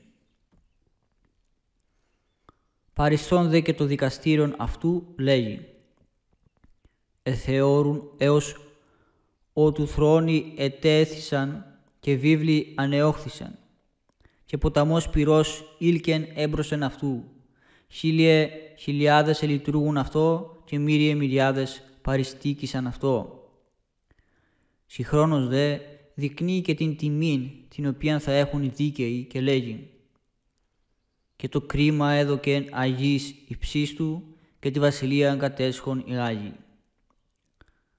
Ο Μαλαχίας επίσης παριστά ότι το δικαστήριο εκείνο θα γίνει και διαπυρός, λέγον «Ιδού, αυτός εισπορεύεται ως πύρχον ευτηρίου και ως πόα πληνόντων. Είδες με πόση ακρίβεια οι προφήτε πρόφθασαν και διακήρυξαν αυτά που επρόκειτο να συμβούν. Πώς λοιπόν τολμάς ακόμα να πιστείς, ενώ έχεις τόσο μεγάλες αποδείξεις της δυνάμεώς του, τας προφητείας που ελέγχθησαν πριν από τόσα έτη και βλέπεις την πραγματοποίηση αυτών χωρίς την παραμικράν παρέκκληση; Ότι δε οι προφητείε δεν είναι ειδικά μας κατασκευάσματα, το μαρτυρούν αυτοί που πρώτοι είχαν τα βιβλία των προφητών και τα έχουν ακόμη και σήμερα και που ενώ είναι εχθροί μας και απόγονοι των σταυρωτών έχουν εν τούτη στα βιβλία και τώρα και τα διατηρούν. Πώς όμως δεν πιστεύουν, ερωτούν, αφού έχουν τα προφητικά βιβλία; Όπως και τότε που ενώ τον έβλεπαν να θαυματουργεί δεν επίστευαν. Δι' αυτό όμως δεν ευθύνεται ο μη πιστευόμενος, αλλά αυτοί που ενώ είναι κατά μεσήμερο δεν βλέπουν, διότι και τον κόσμο τούτον τον παρουσίασεν ως αρμονικότατον όργανον, που από παντού αφήνει τας φωνάς του που δικρίσουν των δημιουργών. Κι όμως υπάρχουν άνθρωποι εκ των οποίων άλλοι μεν ισχυρίζονται ότι τα πάντα παρήχθησαν αυτομάτως. Άλλοι ότι όσα βλέπουμε δεν έχουν δημιουργηθεί. Άλλοι αποδίδουν τη δημιουργία αυτών και την πρόνοια εις τους δαίμονας. Και άλλοι εις την τύχη και την ημαρμένη και εις τας περιφοράς των άστρων. Δι' αυτό όμως δεν πταίει ο δημιουργός, αλλά η κατηγορία βαρύνει αυτούς, οι οποίοι μετά από τόσα φάρμακα κατάκυνται βαρύτατα ασθενείς. Όπως δηλαδή όταν μια ψυχή είναι ευγνώμων, γνωρίζει τι πρέπει να πράξει, χωρίς να έχει προς τούτο ανάγκη από πολλά ενισχυτικά μέσα. Έτσι και όταν είναι αγνώμων και ανέστητος.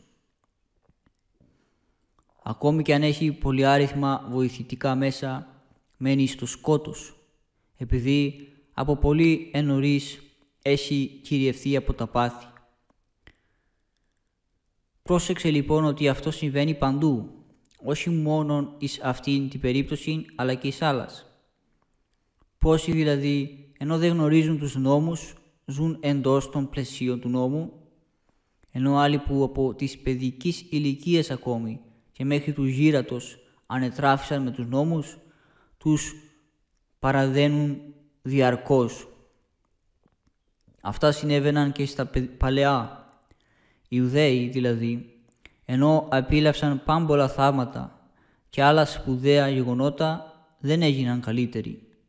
Οι Νινεβίτε όμως ένα μόνο κήρυγμα άκουσαν και αμέσως μετεβλήθησαν και απειλάγησαν από την κακία. Αυτό δε ή μπορεί να το ειδεί κανείς να συμβαίνει όχι μόνο εις διασύμους άνδρας, αλλά και εις απλοϊκούς. Ο Ιούδας, ενώ εδιδάχθη τόσα, έγινε προδότης. Ο ληστής, χωρίς καμία προτροπή ομολόγησε το Χριστόν επί του Σταυρού και κήρυξε την βασιλεία του. Μη κρίνεις λοιπόν τα πράγματα στηριζόμενος εις αυτούς που έχουν διαφθαρμένη γνώμη, αλλά να εκφέρεις την αρμόζουσα γνώμη επί την βάση της αληθείας των πραγμάτων. Συμφωνώ προς αυτούς που εσκέφθησαν ορθώς επ' αυτόν. Δεν επίστευσαν οι Ιουδαίοι, επίστευσαν όμως οι εθνικοί. Ούτε και αυτό απεσιωπήθη, αλλά αφενός μεν ο Δαβίδ προφητεύων διακηρύσει. Οι αλότριοι εψεύσαν δόμοι, οι αλότριοι επαλαιώθησαν και χόλαναν από τον τρίβον αυτών. Αφετέρου δε ο Ισαΐας λέγει «Κύριε, τι επίστευσε τη ακοή ημών και ο βραχιόν Κυρίου τίνη απεκαλύφθη» και πάλι «Ευρέθη της εμέ μη ζητούσι, εμφανίσε γενόμην της εμέ μη επερωτώσει». Ενώ δε κατά τη διάρκεια της παρουσίας του στην γη επίστευσαν εις αυτόν δύο ξένες γυναίκες, η Χαναναία και η Σαμαρίτης. Οι ιερείς και άρχοντες αντιθέτως τον κατεπολέμουν και τον κατεδίωκαν. Συγχρόνως δε εμπόδιζαν και τους άλλους και ξεδίωκαν από τη συναγωγή αυτούς που επίστευαν εις Αυτόν. Μη σε παραξενεύουν λοιπόν αυτά. Η ζωή μας είναι γεμάτη από τέτοια παραδείγματα που συνέβησαν και εις τους χρόνους μας και παλαιότερα. Άλλωστε, αν όχι όλοι, πάντως πολλοί και από τους Ιουδαίους επίστευσαν και τότε και τώρα. Το ότι δεν επίστευσαν όλοι δεν είναι κάτι καινοφανές ούτε παράδοξο. Διότι έτσι εκδηλώνεται η αγνωμοσύνη ή αμυαλοσύνη η ψυχή που είναι πολιορκημένη από πάθη. Αφού λοιπόν ανεφέρθημεν εις τας προφητείας που ελέγχθησαν από τους προφήτας πριν από τόσα χρόνια, Ας δούμε τώρα και αυτάς που ελέγχθησαν από τον ίδιον, όταν ευρίσκεται στη γη και συνανεστρέφεται τους ανθρώπους, για να μάθεις και εξ αυτών τη δύναμή του. Αφού δηλαδή ήλθαν στη γη για να πραγματοποιήσει την σωτηρία των ανθρώπων και αυτών που εζούσαν τότε και αυτών που επρόκειτο να ακολουθήσουν εχρησιμοποίησε προς τούτο διαφόρους τρόπους. Και πρόσεξε τι κάνει. Επιτελεί θαύματα και συγχρόνως προλέγει γεγονότα που θα εκπληρωθούν μετά από πολλήν χρόνων και διαμέν των θαυμάτων δίδει στους ακροατάς εγγύησιν αυτών που θα συμβούν μετά από πολλήν χρόνων. Εις αυτούς δε που θα ζήσουν κατόπιν δεικνύει ότι είναι αξιόπιστα τα θάματα που επετελέστησαν επί της εποχής του, διότι όσα επροφητεύθησαν επραγματοποιήθησαν. Δια της διπλής δε αυτής αποδείξεως κάνει πιστευτά και τα περί της βασιλείας. Διότι και επροφητείε του ήσαν διπλέ, αύτε που επρόκειτο να εκπληρωθούν εις την παρούσαν ζωή.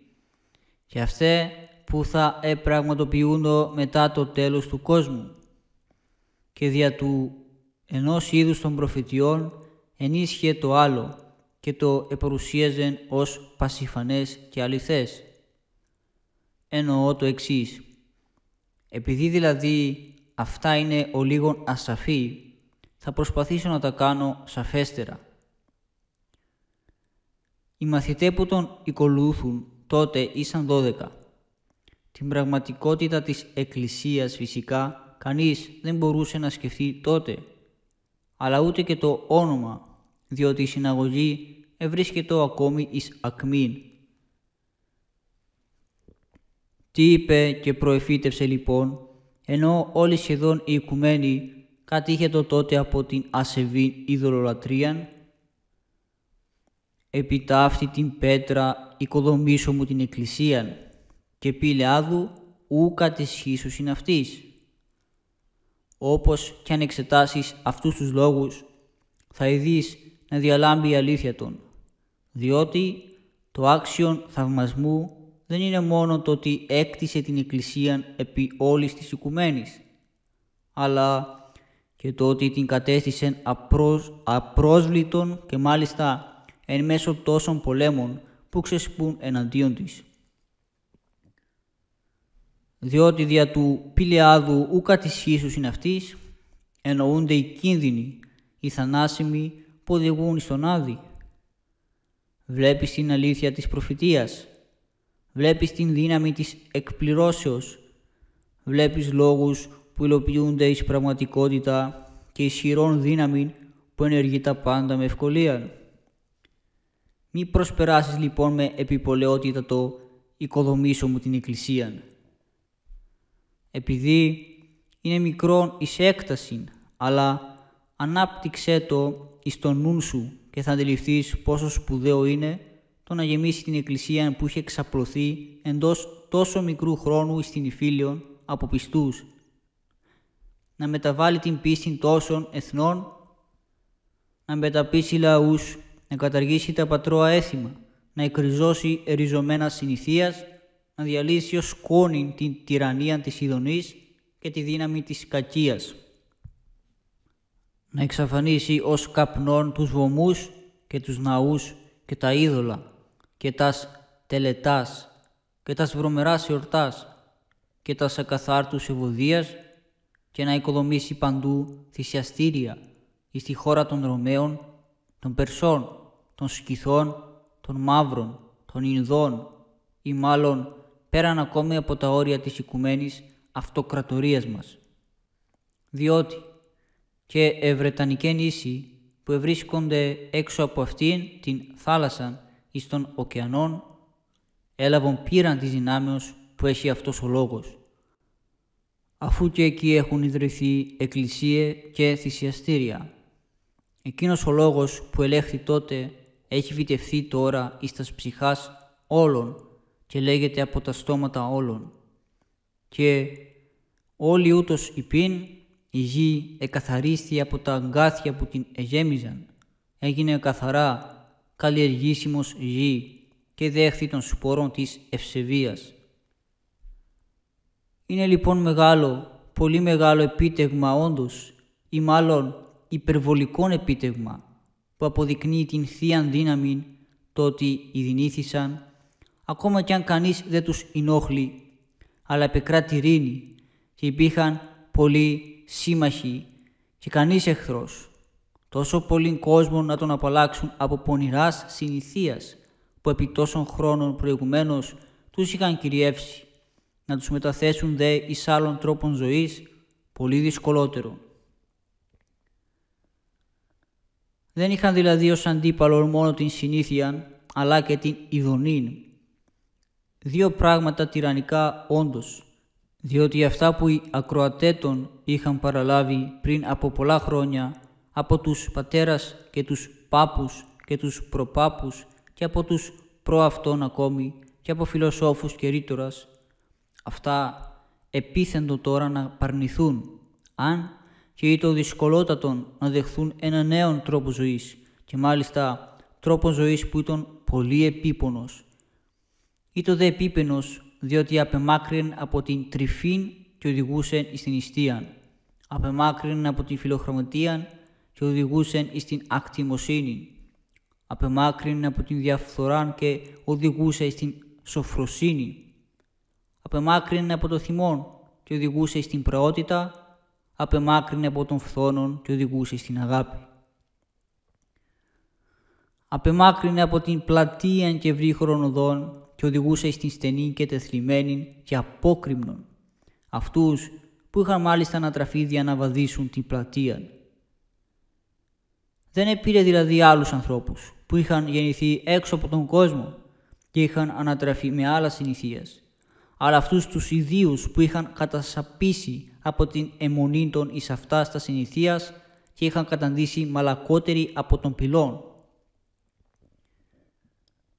Αυτούς προέτρεπε και έπιθε να βαδίσουν τη στενή και τεθλιμμένη οδόν, την τραχία και σκληράν, και πόσους έπισεν, όχι δύο και δέκα και είκοσι και εκατό, αλλά όλους σχεδόν τους κατοικούντας υπό τον ήλιον και ποιους χρησιμοποίησε για να τους πείσει ένδεκα ανθρώπους, αγραμμάτους ιδιώτας, μη γνωρίζοντας γλώσσας, ασήμους, πτωχούς, που δεν είχαν πατρίδας σε επιφανής, ούτε αυθονία χρημάτων, ούτε σωματική δύναμη, ούτε ένδοξο παρελθόν, ούτε επιφανή καταγωγή, ούτε φυσική ικανότητα εις το λέγειν,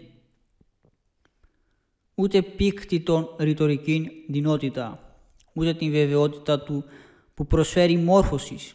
Τίποτε από όλα αυτά δεν είχαν, αλλά ήσαν απλοί αλείς, σκηνοποιοί, αλόγλωσσοι. Δεν είχαν δηλαδή την αυτή γλώσσα με τους ακουρατάς, αλλά ομίλουν ξένη γλώσσα, που διέφερε από όλα στα άλλας, την εβραϊκή δηλαδή. Δι' αυτόν λοιπόν έκτισε αυτή την εκκλησία που είναι εξαπλωμένη από το ένα έως το άλλο άκρο της γης. Το θαυμαστόν δε δεν είναι μόνο αυτό, αλλά και το ότι αυτοί οι ιδιώτες και πτωχοί και άσημοι και αγράμματοι και ταπεινοί και αλόγλωσσοι και ευκαταφρόνητοι που ανέλαβαν την διόρθωση όλης της οικουμένης και πήραν την εντολή να την οδηγήσουν εις δυσκολότερων βίων, κατόρθωσαν ταύτα όχι μέσω ειρηνικής ατμοσφαίρας, αλλά μέσω μυριάδων πολέμων, που από παντού εξεγείρονται εναντίον τους, διότι εις κάθε έθνος και πόλη, ή μάλλον εις κάθε οικίαν, εκηρύσσεται ο πόλεμος εναντίον τους. Διότι με την είσοδο της η διδασκαλία απεχώριζε πολλάκι το τέκνον από τον πατέρα, την ύμφη από την πεθεράν, των αδελφών από τον αδελφών, των δούλων από τον δεσπότη, των υπήκων από τον άρχοντα, τον άντρα από τη γυναίκα ή τη γυναίκα από τον άνδρα. Τον πατέρα από τα τέκνα, που φυσικά δεν επίθετο όλα αμέσως. Προεκάλει καθημερινάς προστριβάς, συνεχείς πολέμους, επροξένει αναριθμήτους θανάτους. Συνετέλεσεν έτσι εις το να περιφρονούνται οι χριστιανοί ως εχθροί και πολέμοι όλων, διότι όλοι τους κατηδίωκον, βασιλείς, άρχοντες, ιδιώτε, δούλοι, ελεύθεροι, λαοί, πόλεις. Και όχι μόνο αυτούς, αλλά το φοβερότερο και αυτούς που μόλις είχαν εισαχθεί στην πίστη, αυτούς που κατηχούντο υπ' αυτόν. Εκηρύχθη δηλαδή γενικός πόλεμος και εναντίον των μαθητών και εναντίον των διδασκάλων, διότι η διδασκαλία ενεφανίζεται αντίθετος και εις τα βασιλικά διατάγματα και εις τα συνηθίας και εις τα πατρώα έθιμα, διότι προέτρεπον τους ανθρώπους να μην προσκυνούν τα είδωλα, να καταφρονούν τους βωμούς που οι πατέρες και όλοι οι προγόνοι των ελάτρευσαν, να αποδιώξουν τη βρωμερά διδασκαλία, να περιφρονήσουν τα σεορτάς και τα στελετάς. Αυτά δε εφαίνοντο εις εκείνους εις το έπακρον φοβερά και φρικόδι και θα έδιδον δια την πίστη των και την ζωή των ακόμη, παρά να προτιμήσουν τους λόγους των μαθητών και να πιστεύσουν εις το γεννηθέντα υπό της Μαρίας, τον δικασθέντα ενώπιον των αρχόντων, τον εμπτισθέντα, τον υποστάντα άπειρα δεινά, τον υπομείναντα κατηραμένων θάνατων, τον ταφέντα, τον αναστάντα. Το περίεργο δε είναι ότι ενώ τα σχετικά με τα πάθη του ήσαν εις όλους γνωστά, εμάστιγες, τα χτυπήματα, εις τα μάτια, η εξύβριση που έγινε δια των εμπτισμών εις το πρόσωπον, τα ραπίσματα, ο σταυρός, τα χλεβάσματα, η διακομόδησης, η ταφή, πώς χάρις επετράπη. Αντιθέτως, τα σχετικά με την Ανάσταση δεν ήσαν καθόλου γνωστά, διότι μετά την Ανάσταση ενεφανίστη μόνο στους μαθητάς. Εν τούτης, και όταν εκήρυτον την Ανάσταση, εγίνοντο πιστευτοί και έχτιζαν έτσι την Εκκλησία. Πώς και με ποιον τρόπον, με τη δύναμη αυτού, ο οποίος καθόριζε ταύτα. Επροπορεύεται δηλαδή αυτός και μετέβαλε τα δύσκολα εις εύκολα, διότι αν αυτά δεν επιτυγχάνονται δια θείας δυνάμεως, ούτε αρχή να λάβουν ταύτα θα ήταν δυνατό. Διότι πώς θα γίνεται η αρχή; Εκείνος όμως που είπε γεννηθεί το ουρανός και εμφανίστη αμέσως το έργο και θεμελιούτο η γη και αμέσως παρήχθη η ύλη, και λαμπέτο ήλιος και αμέσως επορουσίασε το άστρο και που δημιούργησε τα πάντα δια του λόγου. Αυτός εφύτευσε και αυτά σας εκκλησίας. Και εκείνος ο λόγος, οικοδομήσω μου την εκκλησία, έκαμε το παν, διότι οι λόγοι του Θεού έχουν τέτοια ακριβώς δύναμη. Είναι δημιουργοί έργων, έργων θαυμαστών και παραδόξων. Όπως δηλαδή είπε «Βραστισάτο η γη βοτάνιν χόρτου» και αμέσως όλα μετεβλήθησαν εις παράδεισον και εις λιβάδια και γέμισαν από φυτά η γη που εδέχθη την εντολή. Έτσι και τώρα είπε «Οικοδομήσω μου την εκκλησία» και με πολλή ευκολία να γίνεται οικοδόμησης. Και ενώ εξεστράτευον εναντίον της τύρανη και οι στρατιώτες με τον οπλισμό τους παρετάσσοντο εις μάχην και οι λαοί εμένοντο σφοδρότερον και του πυρός και η συνήθεια αντιπαρετάσσετο και ξεγείροντο ρήτορες και σοφιστέ και πλούσιοι και ιδιώτες και άρχοντες. Ήρθαν ο λόγος του Θεού με περισσότεραν από το πυρ σφοδρότητα και κατέκαψε τα αγκάθια, εκαθάρισε τους αγρούς, έσπηρε το λόγο του κηρύγματος. Και ενώ από αυτούς που επίστευσαν, άλλοι ερήπτοντο εις τας σφυλακάς, άλλοι εξορίζοντο, άλλων εδημεύεντο επερουσίε, άλλοι εφωνεύεντο και κατεσφάζοντο, άλλοι παρεδίδοντο εις το πυρ, άλλοι κατεποντίζοντο εις την θάλασσαν, υφίσταντο ατιμίας, εδιώκοντο, εξεδιώκοντο από παντού ως κοινοί εχθροί. Εν τούτης, διαρκώς προσήρχοντο περισσότεροι, οι οποίοι όχι μόνο δεν εδείκνουν απροθυμίαν εις το να πιστέψουν, βλέποντες αυτά που άλλοι υφίσταντο, αλλά αντιθέτως εγίνοντο προθυμότεροι και εισήρχοντο πηδώντας μέσα εις τα σωτήρια αυτά δίχτυα. Κι έτσι ηλιεύοντο χωρίς να εξαναγκάζονται ούτε να εκδιάζονται, αλλά προσέτρεχον μόνοι και αισθάνοντο και ευγνωμοσύνη προς αυτούς οι οποίοι τους οδηγούσαν εις τον χριστιανισμό. Και ενώ έβλεπαν χυμάρους αιμάτων να ρέουν από τα μαρτύρια αυτών που ήδη επίστευσαν, αυτοί έγιναν θερμότεροι εις την πίστη και περισσότερον θραλέοι. Και ενώ όχι μόνο οι μαθητέ αλλά και οι διδάσκαλοι, άλλοι μεν φυλακίζοντο, άλλοι διώκοντο, άλλοι μαστιγούντο και άλλοι φύσταντο άπειρα δεινά, οι μαθητές εν τούτης επληθύνοντο και γίνοντο μάλλον σπουδαιότεροι. Σχετικώς με αυτά κραυγάζει ο Παύλος και λέγει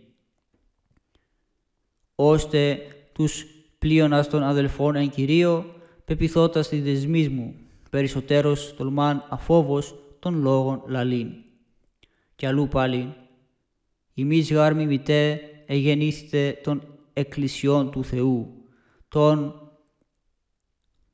ουσών εν τη Ουδαία, ότι τα αυτά επάθετε και εμείς υπό των ιδίων συμφιλετών, καθώς και αυτοί υπό των Ιουδαίων των και των Κύριων αποκτηνάντων και ημάς κολλιόντων, της έθνεση λαλήσε ή να σωθώσει. Απευθυνόμενος δε και εις άλλους έλεγε τα εξής, αναμιμνίσκεστε τας προτέρας ημέρας, ενές φωτισθέντες πολλήν άθλησιν απεμείνατε παθημάτων, γινώσκονται σε αυτής κρίτονα ύπαρξην εν ουρανής και μένουσαν. Είδες την υπερβολική δύναμη αυτού που ενήργησε ταύτα, διότι όχι μόνο δεν έχαναν την ευθυμία των και δεν εθρίβοντο δι' αυτά τα παθήματά των, αλλά και έχερον και σκυρτούσαν και χόρευαν.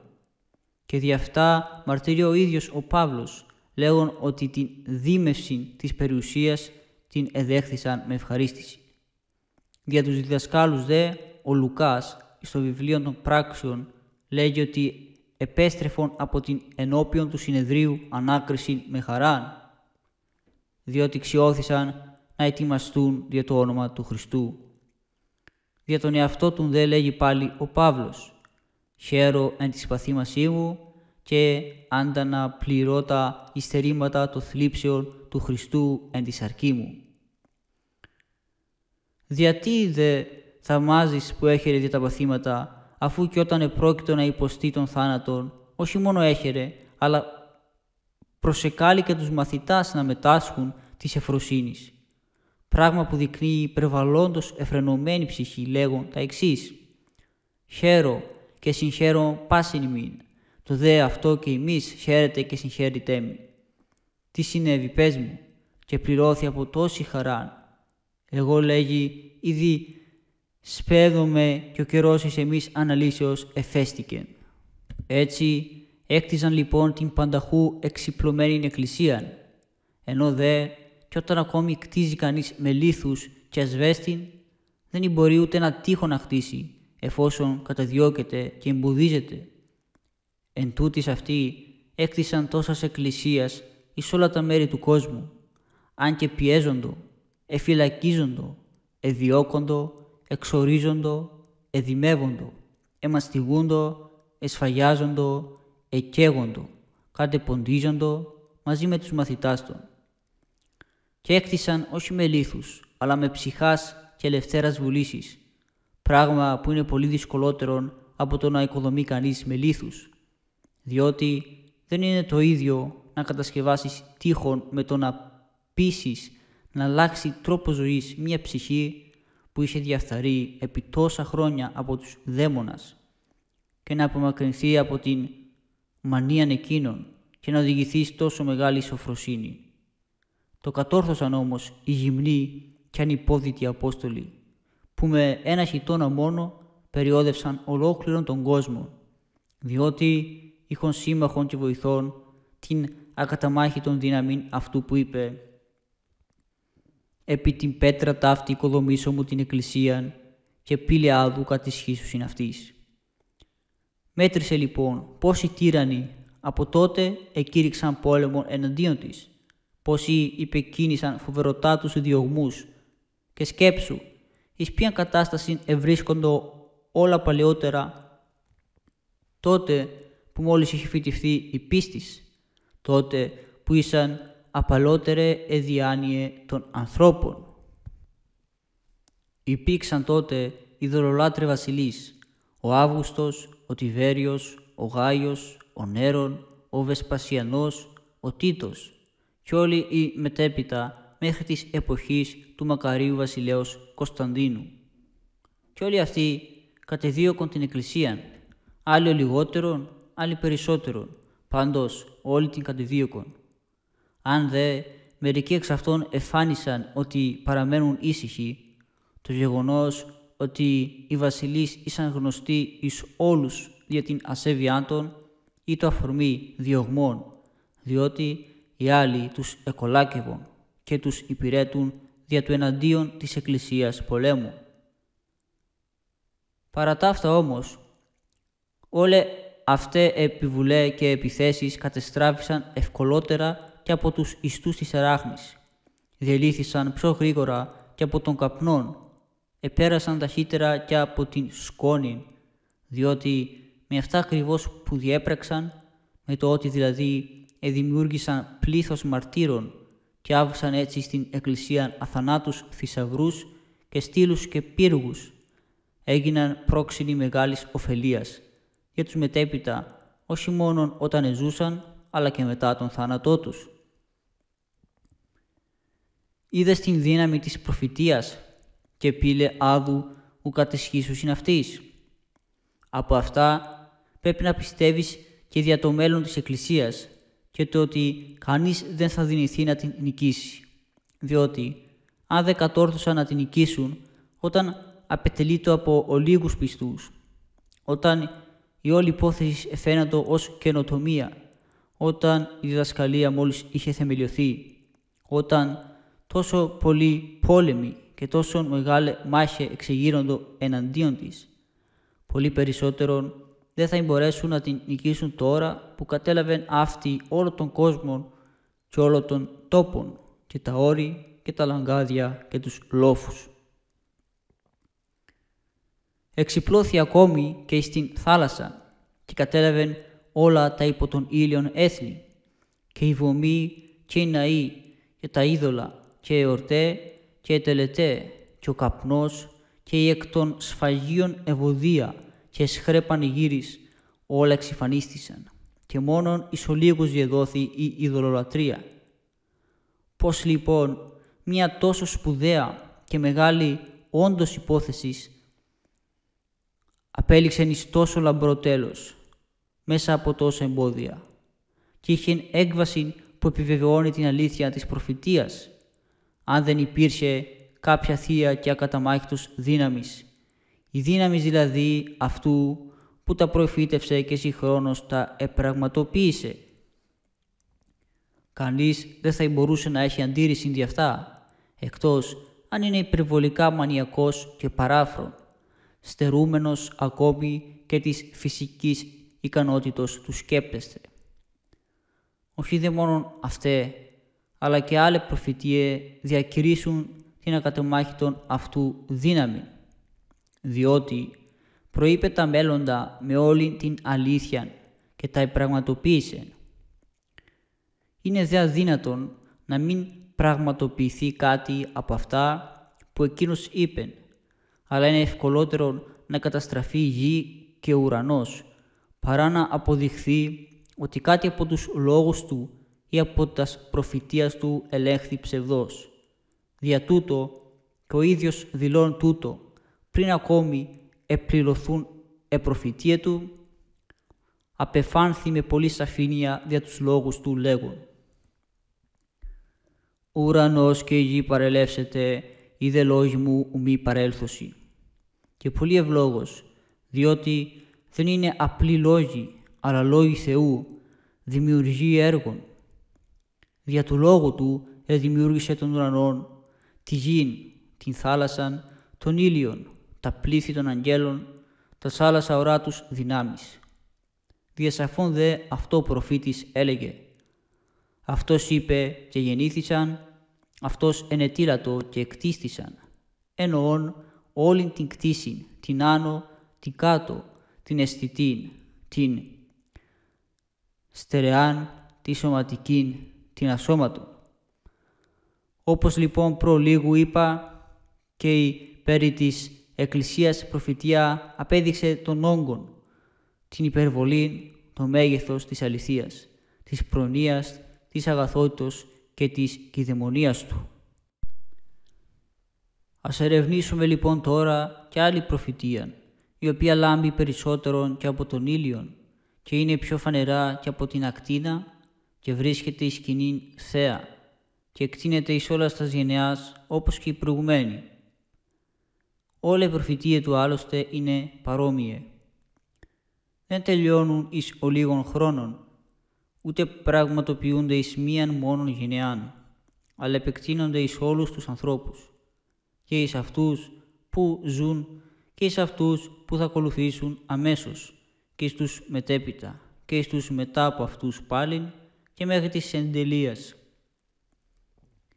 Παρέχουν έτσι σε όλους την δυνατότητα να αντιληφθούν την δύναμη της αληθείας των, όπως ακριβώς και οι προηγουμένοι, διότι από την ημέρα που ηλέχθη μέχρι το τέλος του κόσμου ίστανται σταθερά και αμετακίνητος, ανθισμένοι, λαμπρά, καθημερινώς ακμάζουσα, αυξανωμένοι, προκόπτουσα εις μεγαλύτερα δύναμη, παρέχουσαν τη δυνατότητα εις όλους από τότε που ελέγχθη μέχρι της Δευτέρας Παρουσίας του Χριστού να καρποθούν από αυτήν αγαθά και να δρέψουν ανέκφραστον ωφέλιαν.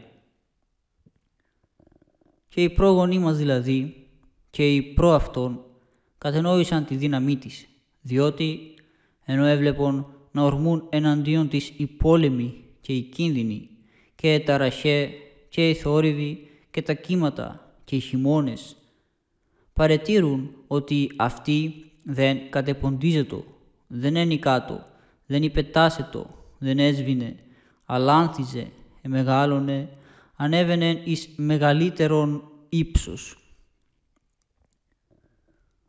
Αυτή λοιπόν η προφητεία που θα σας είπω είναι πολύ σπουδαία εις το να καταδείξει την δύναμη και την αλήθεια των λόγων του. Ποια λοιπόν είναι αυτή; Όταν εισήλθε κάποτε εις τον ναό των Ιουδαίων, ο οποίος ευρίσκεται τότε εις ακμήν και λαμποκοπούσε εις όλα τα σημεία από τον πολύ χρυσόν και από την ομορφιά και το μέγεθος του οικοδομήματος. Και είχε και όλη την άλλη πολυτέλεια από τη τέχνη και από τα υλικά και ενώ οι μαθητέ τα εθαύμαζον όλα αυτά, αυτός είπε «Ου χωράτε ταύτα πάντα, αμήν λέγω εμήν, ου μη μείνει όδε λίθος επί λίθων». Εννοών την καταστροφή που επρόκειτο να ακολουθήσει την πανολεθρία, την ερήμωση, τα ερήπια που και σήμερα υπάρχουν εις τα Ιεροσόλυμα. Όλα δηλαδή εκείνα τα λαμπρά και φημισμένα οικοδομήματα μετεβλήθησαν εις ερήπια. Είδες πόσο μεγάλη και ανέκφραστος είναι η δύναμή του και στας δύο πλευράς και έστω ότι οικοδομεί και αυξάνει το σώμα των πιστών του και εις το ότι ταπεινώνει και καταστρέφει και ξεριζώνει αυτούς που αντιτίθενται εις Αυτόν. Πουθενά δεν υπήρχε τέτοιος ναός, τόσο φημισμένος και απολαμβάνων τόσης τιμής, διότι εις όλην την γην διασκορπισμένη ουδέοι και εις τα πέρατα ακόμη του κόσμου κατέφθαναν εκεί παλαιότερα φέροντες δώρα και θυσίες και προσφοράς και απαρχάς και πολλά άλλα. Εκαλόπιζαν έτσι τον ναό με τα πλούτη όλου του κόσμου. Ακόμη και οι προσιλητισθέντες εις των Ιουδαϊσμών συγκεντρώνοντο και αυτοί εκεί από όλα τα μέρη του κόσμου και έτσι ο τόπος έγινε ονομαστός και η φήμη του έφτανε μέχρι τα έσχατα σημεία του κόσμου. Ένας λόγος όμως του Χριστού τα κατέστρεψε και τα εξυφάνισε όλα και έκανε να φύγουν από τη μέση σαν σκόνη. Και εκεί που δεν επιτρέπεται εις όλους τους Ιουδαίους ή μάλλον ούτε στους ιερείς να εισέρχονται παρά μόνο εις τον αρχιερέα και εις αυτόν μία μόνο φορά το έτος με στολήν και στεφάνους και μήτραν και με όλη την άλλη ιεράν αμφίεση. Τώρα ή μπορούν να διέρχονται και πόρνοι και σχροί και διεφθαρμένοι χωρίς κανείς να τους εμποδίζει. Διότι ήλθε εκείνος ο λόγος και κατέστρεψε και εξυφάνισε τα πάντα. Μένει δε από τον ναόν τόσο μόνο μέρος όσο είναι αρκετό για να δεικνύει που ήταν ο ναός παλαιότερα. Πρόσεξε ακόμη και αυτό που θα είπω, πώς η δύναμη να επιδεικνύει. Αυτοί δηλαδή που κατόρθωσαν τόσα πράγματα και νίκησαν έθνη και βασιλείς και επεκράτησαν εις πολλάς περιπτώσεις χωρίς να έχει αίμα και επέτυχον απείρους νίκας και νοφανής και θαυμαστάς, αυτοί δεν μπόρεσαν από τότε μέχρι σήμερα να οικοδομήσουν έναν ναόν. Αυτό δεν συνέβη μόλον ότι υπήρξαν πολλοί βασιλείς που τους υπεστήριξαν και είναι ούτε πολυπληθές έθνος διασκορπισμένων εις όλην την γη και έχουν πλήθος χρημάτων. Είδες πως αυτά που έκτισε κανείς δεν τα εκρήμνησε και αυτά που εκρήμνησε κανείς δεν τα έκτισε. Έκτισε την εκκλησία και κανείς δεν μπορεί να την κρυμνήσει. Κατέστρεψε τον ναόν και κανείς δεν μπορεί να τον ανεγείρει εδώ και τόσα χρόνια. Επεχείρησαν να καταστρέψουν την εκκλησία χωρίς να το επιτύχουν. Εφρόντισαν επίσης να ανεγείρουν τον ναόν αλλά δεν το κατόρθωσαν. Επετράπηδε και τούτο, ώστε να μην μπορεί κανείς να ισχυρίζεται ότι αν επεχείρουν θα το κατόρθωναν. Να λοιπόν που επιχείρησαν και απέτυχαν. Επί της ειδικής μας δηλαδή γενεάς, ο βασιλεύς που υπερεύει όλους τους άλλους εις ασέβειαν, επέτρεψε την ανέγεση και ενίσχυσε το έργο, ενώ δε είχαν αρχίσει να εργάζονται δεν μπόρεσαν να προχωρήσουν καθόλου, διότι ξεπίδησε πυρ από τα θεμέλια και τους εξεδίωξε όλους. Την απόπειραν αυτήν της άνοικοδομήσεως, τη μαρτυρεί μέχρι σήμερα ακόμη το ότι τα θεμέλια είναι απογυμνωμένα, δια να αντιληφθείς ότι επιχείρησαν μεν να τα εσκάψουν, δεν μπόρεσαν όμως να χτίσουν, διότι τους συμπόδιζε η απόφαση του Θεού.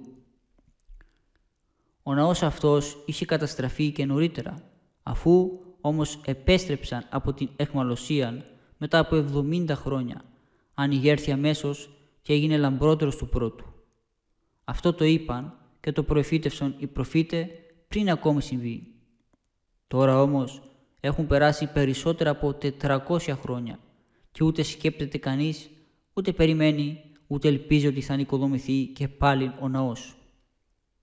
Τι άλλο λοιπόν θα μπορούσε να τους εμποδίσει παρά μόνον η Θεία Δύναμης που αντιτίθετο; Δεν έχουν μήπως πάμπολα χρήματα Ιουδαίοι; Δεν έχει αμετρήτους θησαυρούς ο Πατριάρχης των από την ίσπραξη των φόρων εις τους οποίους υπόκεινται όλοι εις όλα τα μέρη; Μήπως δεν είναι γνωστόν το έθνος των Εβραίων για την τόλμη, την ανεσχυντία, την εριστικότητα, την αυθάδεια, την υποκίνηση πολέμων. Δεν υπάρχουν πολλοί Ιουδαίοι στην Παλαιστίνη ή στην Φινίκη ή σε όλα τα μέρη του κόσμου.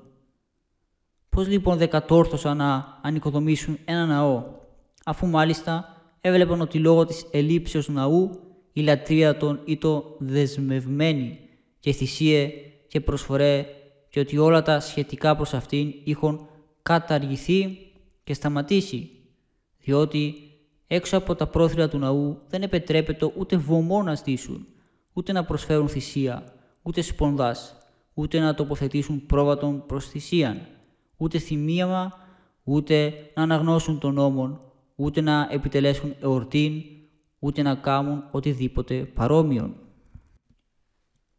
Όταν δε κάποτε οδηγήθησαν εχμάλωτοι εις την Βαβυλώνα, και ενώ είναι αγκάζοντο υπό των εχθρών να ψάλουν, δεν υπεχώρησαν ούτε υπήκουσαν, αν και ήσαν εχμάλωτοι και δούλοι εις δεσπότας, οι οποίοι τους εκαγωπίουν ενώ δε είχαν χάσει την πατρίδα και την ελευθερία των και διεκινδύνευον ακόμη και τη ζωή των και ήσαν εγκαταλελειμμένοι εις τα χέρια των κατακτητών αν μέσα εις παγίδας όταν διετάσσοντο να ψάλουν δια των οργάνων τη γνωστήν εκείνην οδύν έλεγον τα εξής «Επί των ποταμών Βαβυλώνος εκεί καθίσαμεν και κλάψαμε, ότι επιρώτησαν ημάς οι εχμαλωτεύσαντες ημάς λόγους οδών. Πώς άσομεν την οδύν Κυρίου επιγής αλωτρίας και φυσικά δεν μπορεί κανείς να ισχυριστεί ότι το έκαναν αυτό, επειδή δεν είχαν μουσικά όργανα, διότι οι ίδιοι εδήλωσαν την αιτία με το να είπουν πώς άσομεν την οδή Κυρίου επί της αλωτρίας. Άλλωστε, τα μουσικά όργανα τα είχαν μαζί τους, διότι λέγει ο ψαλμοδός «Εν γάρ τεσιτές εν μέσω αυτών εκρεμάσαμε τα όργανα ημών». Ούτε να νηστεύσουν ακόμη επιτρέπετο. Και αυτό το δηλώνει ο προφήτης και λέγει «Μην νηστείαν νένι στεύκατε μη έτη εβδομήκοντα» λέγει Κύριος. Για το ότι δεν μπορούσαν ούτε να θυσιάσουν ούτε να κάνουν σπονδάς, άκουσε τους τρεις πέδας που λέγουν «Ουκ έστι άρχον, ουδέ προφήτης, ουδέ τόπος του καρπός ενώπιόν σου και βρήν έλεος». Δεν είπε ουκ έστιν ιερεύς, διότι ήσαν παρόντες ιερείς. Για να μάθεις δε ότι το παν εξυρτάτο από τον τόπον και ότι όλη η περιλατρίας νομοθεσία ήτο συνδεδεμένη με τον τόπον, είπεν «Ουκ έστι τόπος». Γιατί όμως αναφέρομαι εις τας θυσίας και τας σπονδάς, ούτε τον νόμον να αναγνώσουν δεν επιτρέπεται. Και επ' αυτού τους κατηγορεί άλλους προφήτης και λέγει «Και ανέγνωσαν έξω νόμων και επικαλέσαν το ομολογίαν». Δεν επιτρέπεται επίσης να εορτάσουν ούτε το Πάσχα ούτε την Πεντηκοστή, ούτε τη Σκηνοπηγίαν, ούτε άλλη παρομοία εορτή. Αλλά όμως, ενώ εγνώριζαν ότι όλα αυτά τα απέκλεισαν η ερήμωσης του ναού, αν δεν επεσύρουν να κάνουν κάτι, το έκαναν παρανόμως και τιμωρούντο δι' αυτό. Εν τούτης, δεν μπόρεσαν να ανοικοδομήσουν τον ναόν, εντός του οποίου επιτρέπεται να επιτελούν τα πάντα νομίμως, διότι η δύναμη του Χριστού που έχτισε την Εκκλησία, αυτή κατέστρεψε και τον ναό. Και το προείπε και αυτό, ακόμη ο προφήτης, ότι δηλαδή και θα έλθει ο Χριστός και θα καταστρέψει την Ιουδαϊκή λατρεία, αν και έζησε μετά την εχμαλωσία. Άκουσε τι λέει. «Και εν ημίν συγκλειστήσονται θύρε και ούκ ανάψετε το θυσιαστήριό μου δωρεάν, ούκ έστιμη θέλημα εν ημίν, ότι από Ανατολών ηλίου μέχρι δυσμών, το όνομά μου δε δόξαστε εν της έθνεση, και παντή τόπο θυμία μάμη προσάγεται και θυσία καθαρά. Είδες με πόση σαφήνεια εξήρισε της επαγγελίας των Ιουδαϊσμών και παρουσίασε τον χριστιανισμόν να διαλάμπει και να επεκτείνεται εις όλη την γη. Άλλος προφήτης επίσης εδήλωσε και τον τρόπο της λατρείας και προσκυνήσουσι αυτό έκαστος εκ του τόπου αυτού και δουλεύσουσι αυτό υποζυγών ένα. Και άλλος πάλι, παρθένος του Ισραήλ, έσφαλεν, σι μη αναστιέτη. Ο Δανίλ επίσης διηγείται όλα αυτά με σαφήνεια, ότι όλα θα καταργηθούν και θυσίε και σπονδέ και το χρήσμα και σχετική εντολέ.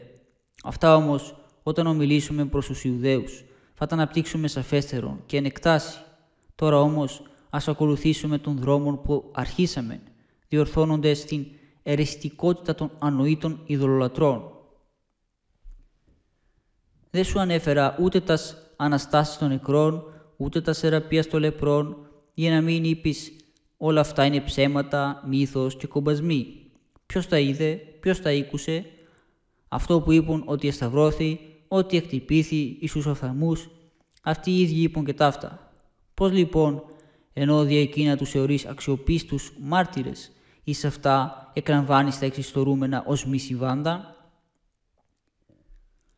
Αν τα έγραφαν όλα αυτά οι Απόστολοι προς χάρη του διδασκάλου και υπερηφανεύοντο χωρίς λόγων και εις θα αποσιωπούσαν τα θλιβερά γεγονότα και όσα από τους πολλούς θεωρούνται επονίδιστα. Τώρα όμως, αποδεικνύονται στην αξιοπιστία των γραφωμένων, ανεφέρθησαν εν εκτάσει εις εκείνα και τα διηγήθησαν όλα με λεπτομερίας και με ακρίβεια, χωρίς να παραλείψουν τίποτε ούτε σημαντικών ούτε ασήμαντων. Ενώ δε εις τας διηγήσεις των σημαντικών γεγονότων και των θαυμάτων παρέλειψαν τα περισσότερα, εις τας διηγήσεις των παθημάτων και αυτών ακόμη που εθεωρούντο επονίδιστα, επέμειναν και εις τας λεπτομερίας και όλα, όλοι οι Ευαγγελιστές, τα διηγούνται με ακρίβεια. Εγώ δε από τα σημαντικά γεγονότα και τα θαύματα τίποτε δεν σου ανέφερα. Άρα για να σταματήσω οριστικός κάθε αδιάντροπον γλώσσαν, επαρουσίασα μόνο αυτά που τώρα φαίνονται.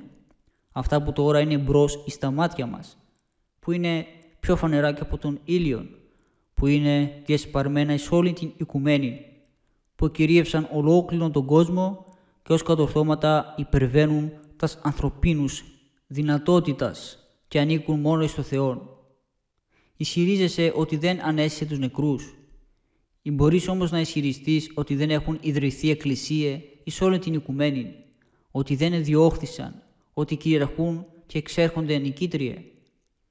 Όπως όμως δεν μπορείς να αρνηθείς ότι υπάρχει ήλιος, έτσι δεν μπορείς να τα αρνηθείς και αυτά. Γιατί δε δεν βλέπεις και την καταστροφή του Ιδαϊκού ναού που κοίται η σκηνή θεάν όλη της ανθρωπότητος, αν δεν είναι ο Θεός και μάλιστα Θεός ισχυρός, πως συνέβη ώστε αυτοί μεν που επίστευσαν εις Αυτόν υψήθησαν τόσο παρά τας ενοχλήσεις, ενώ οι σταυρωτέ του και οι έναντιοθέντες εις Αυτόν εταπεινώθησαν τόσο ώστε να χάσουν την πατρίδα των και να περιφέρονται ως αλήτε και φυγάδες και πλανόδι, χωρίς τίποτε και από τα δύο να αλλάξει χρόνος. Είχαν δε τόση δύναμη οι Ιουδαίοι, ώστε οργάνωσαν και πόλεμον εναντίον των Ρωμαίων και εξεστράτευσαν και επί πολύ χρόνο διατήρησαν την πολεμική ετοιμότητα.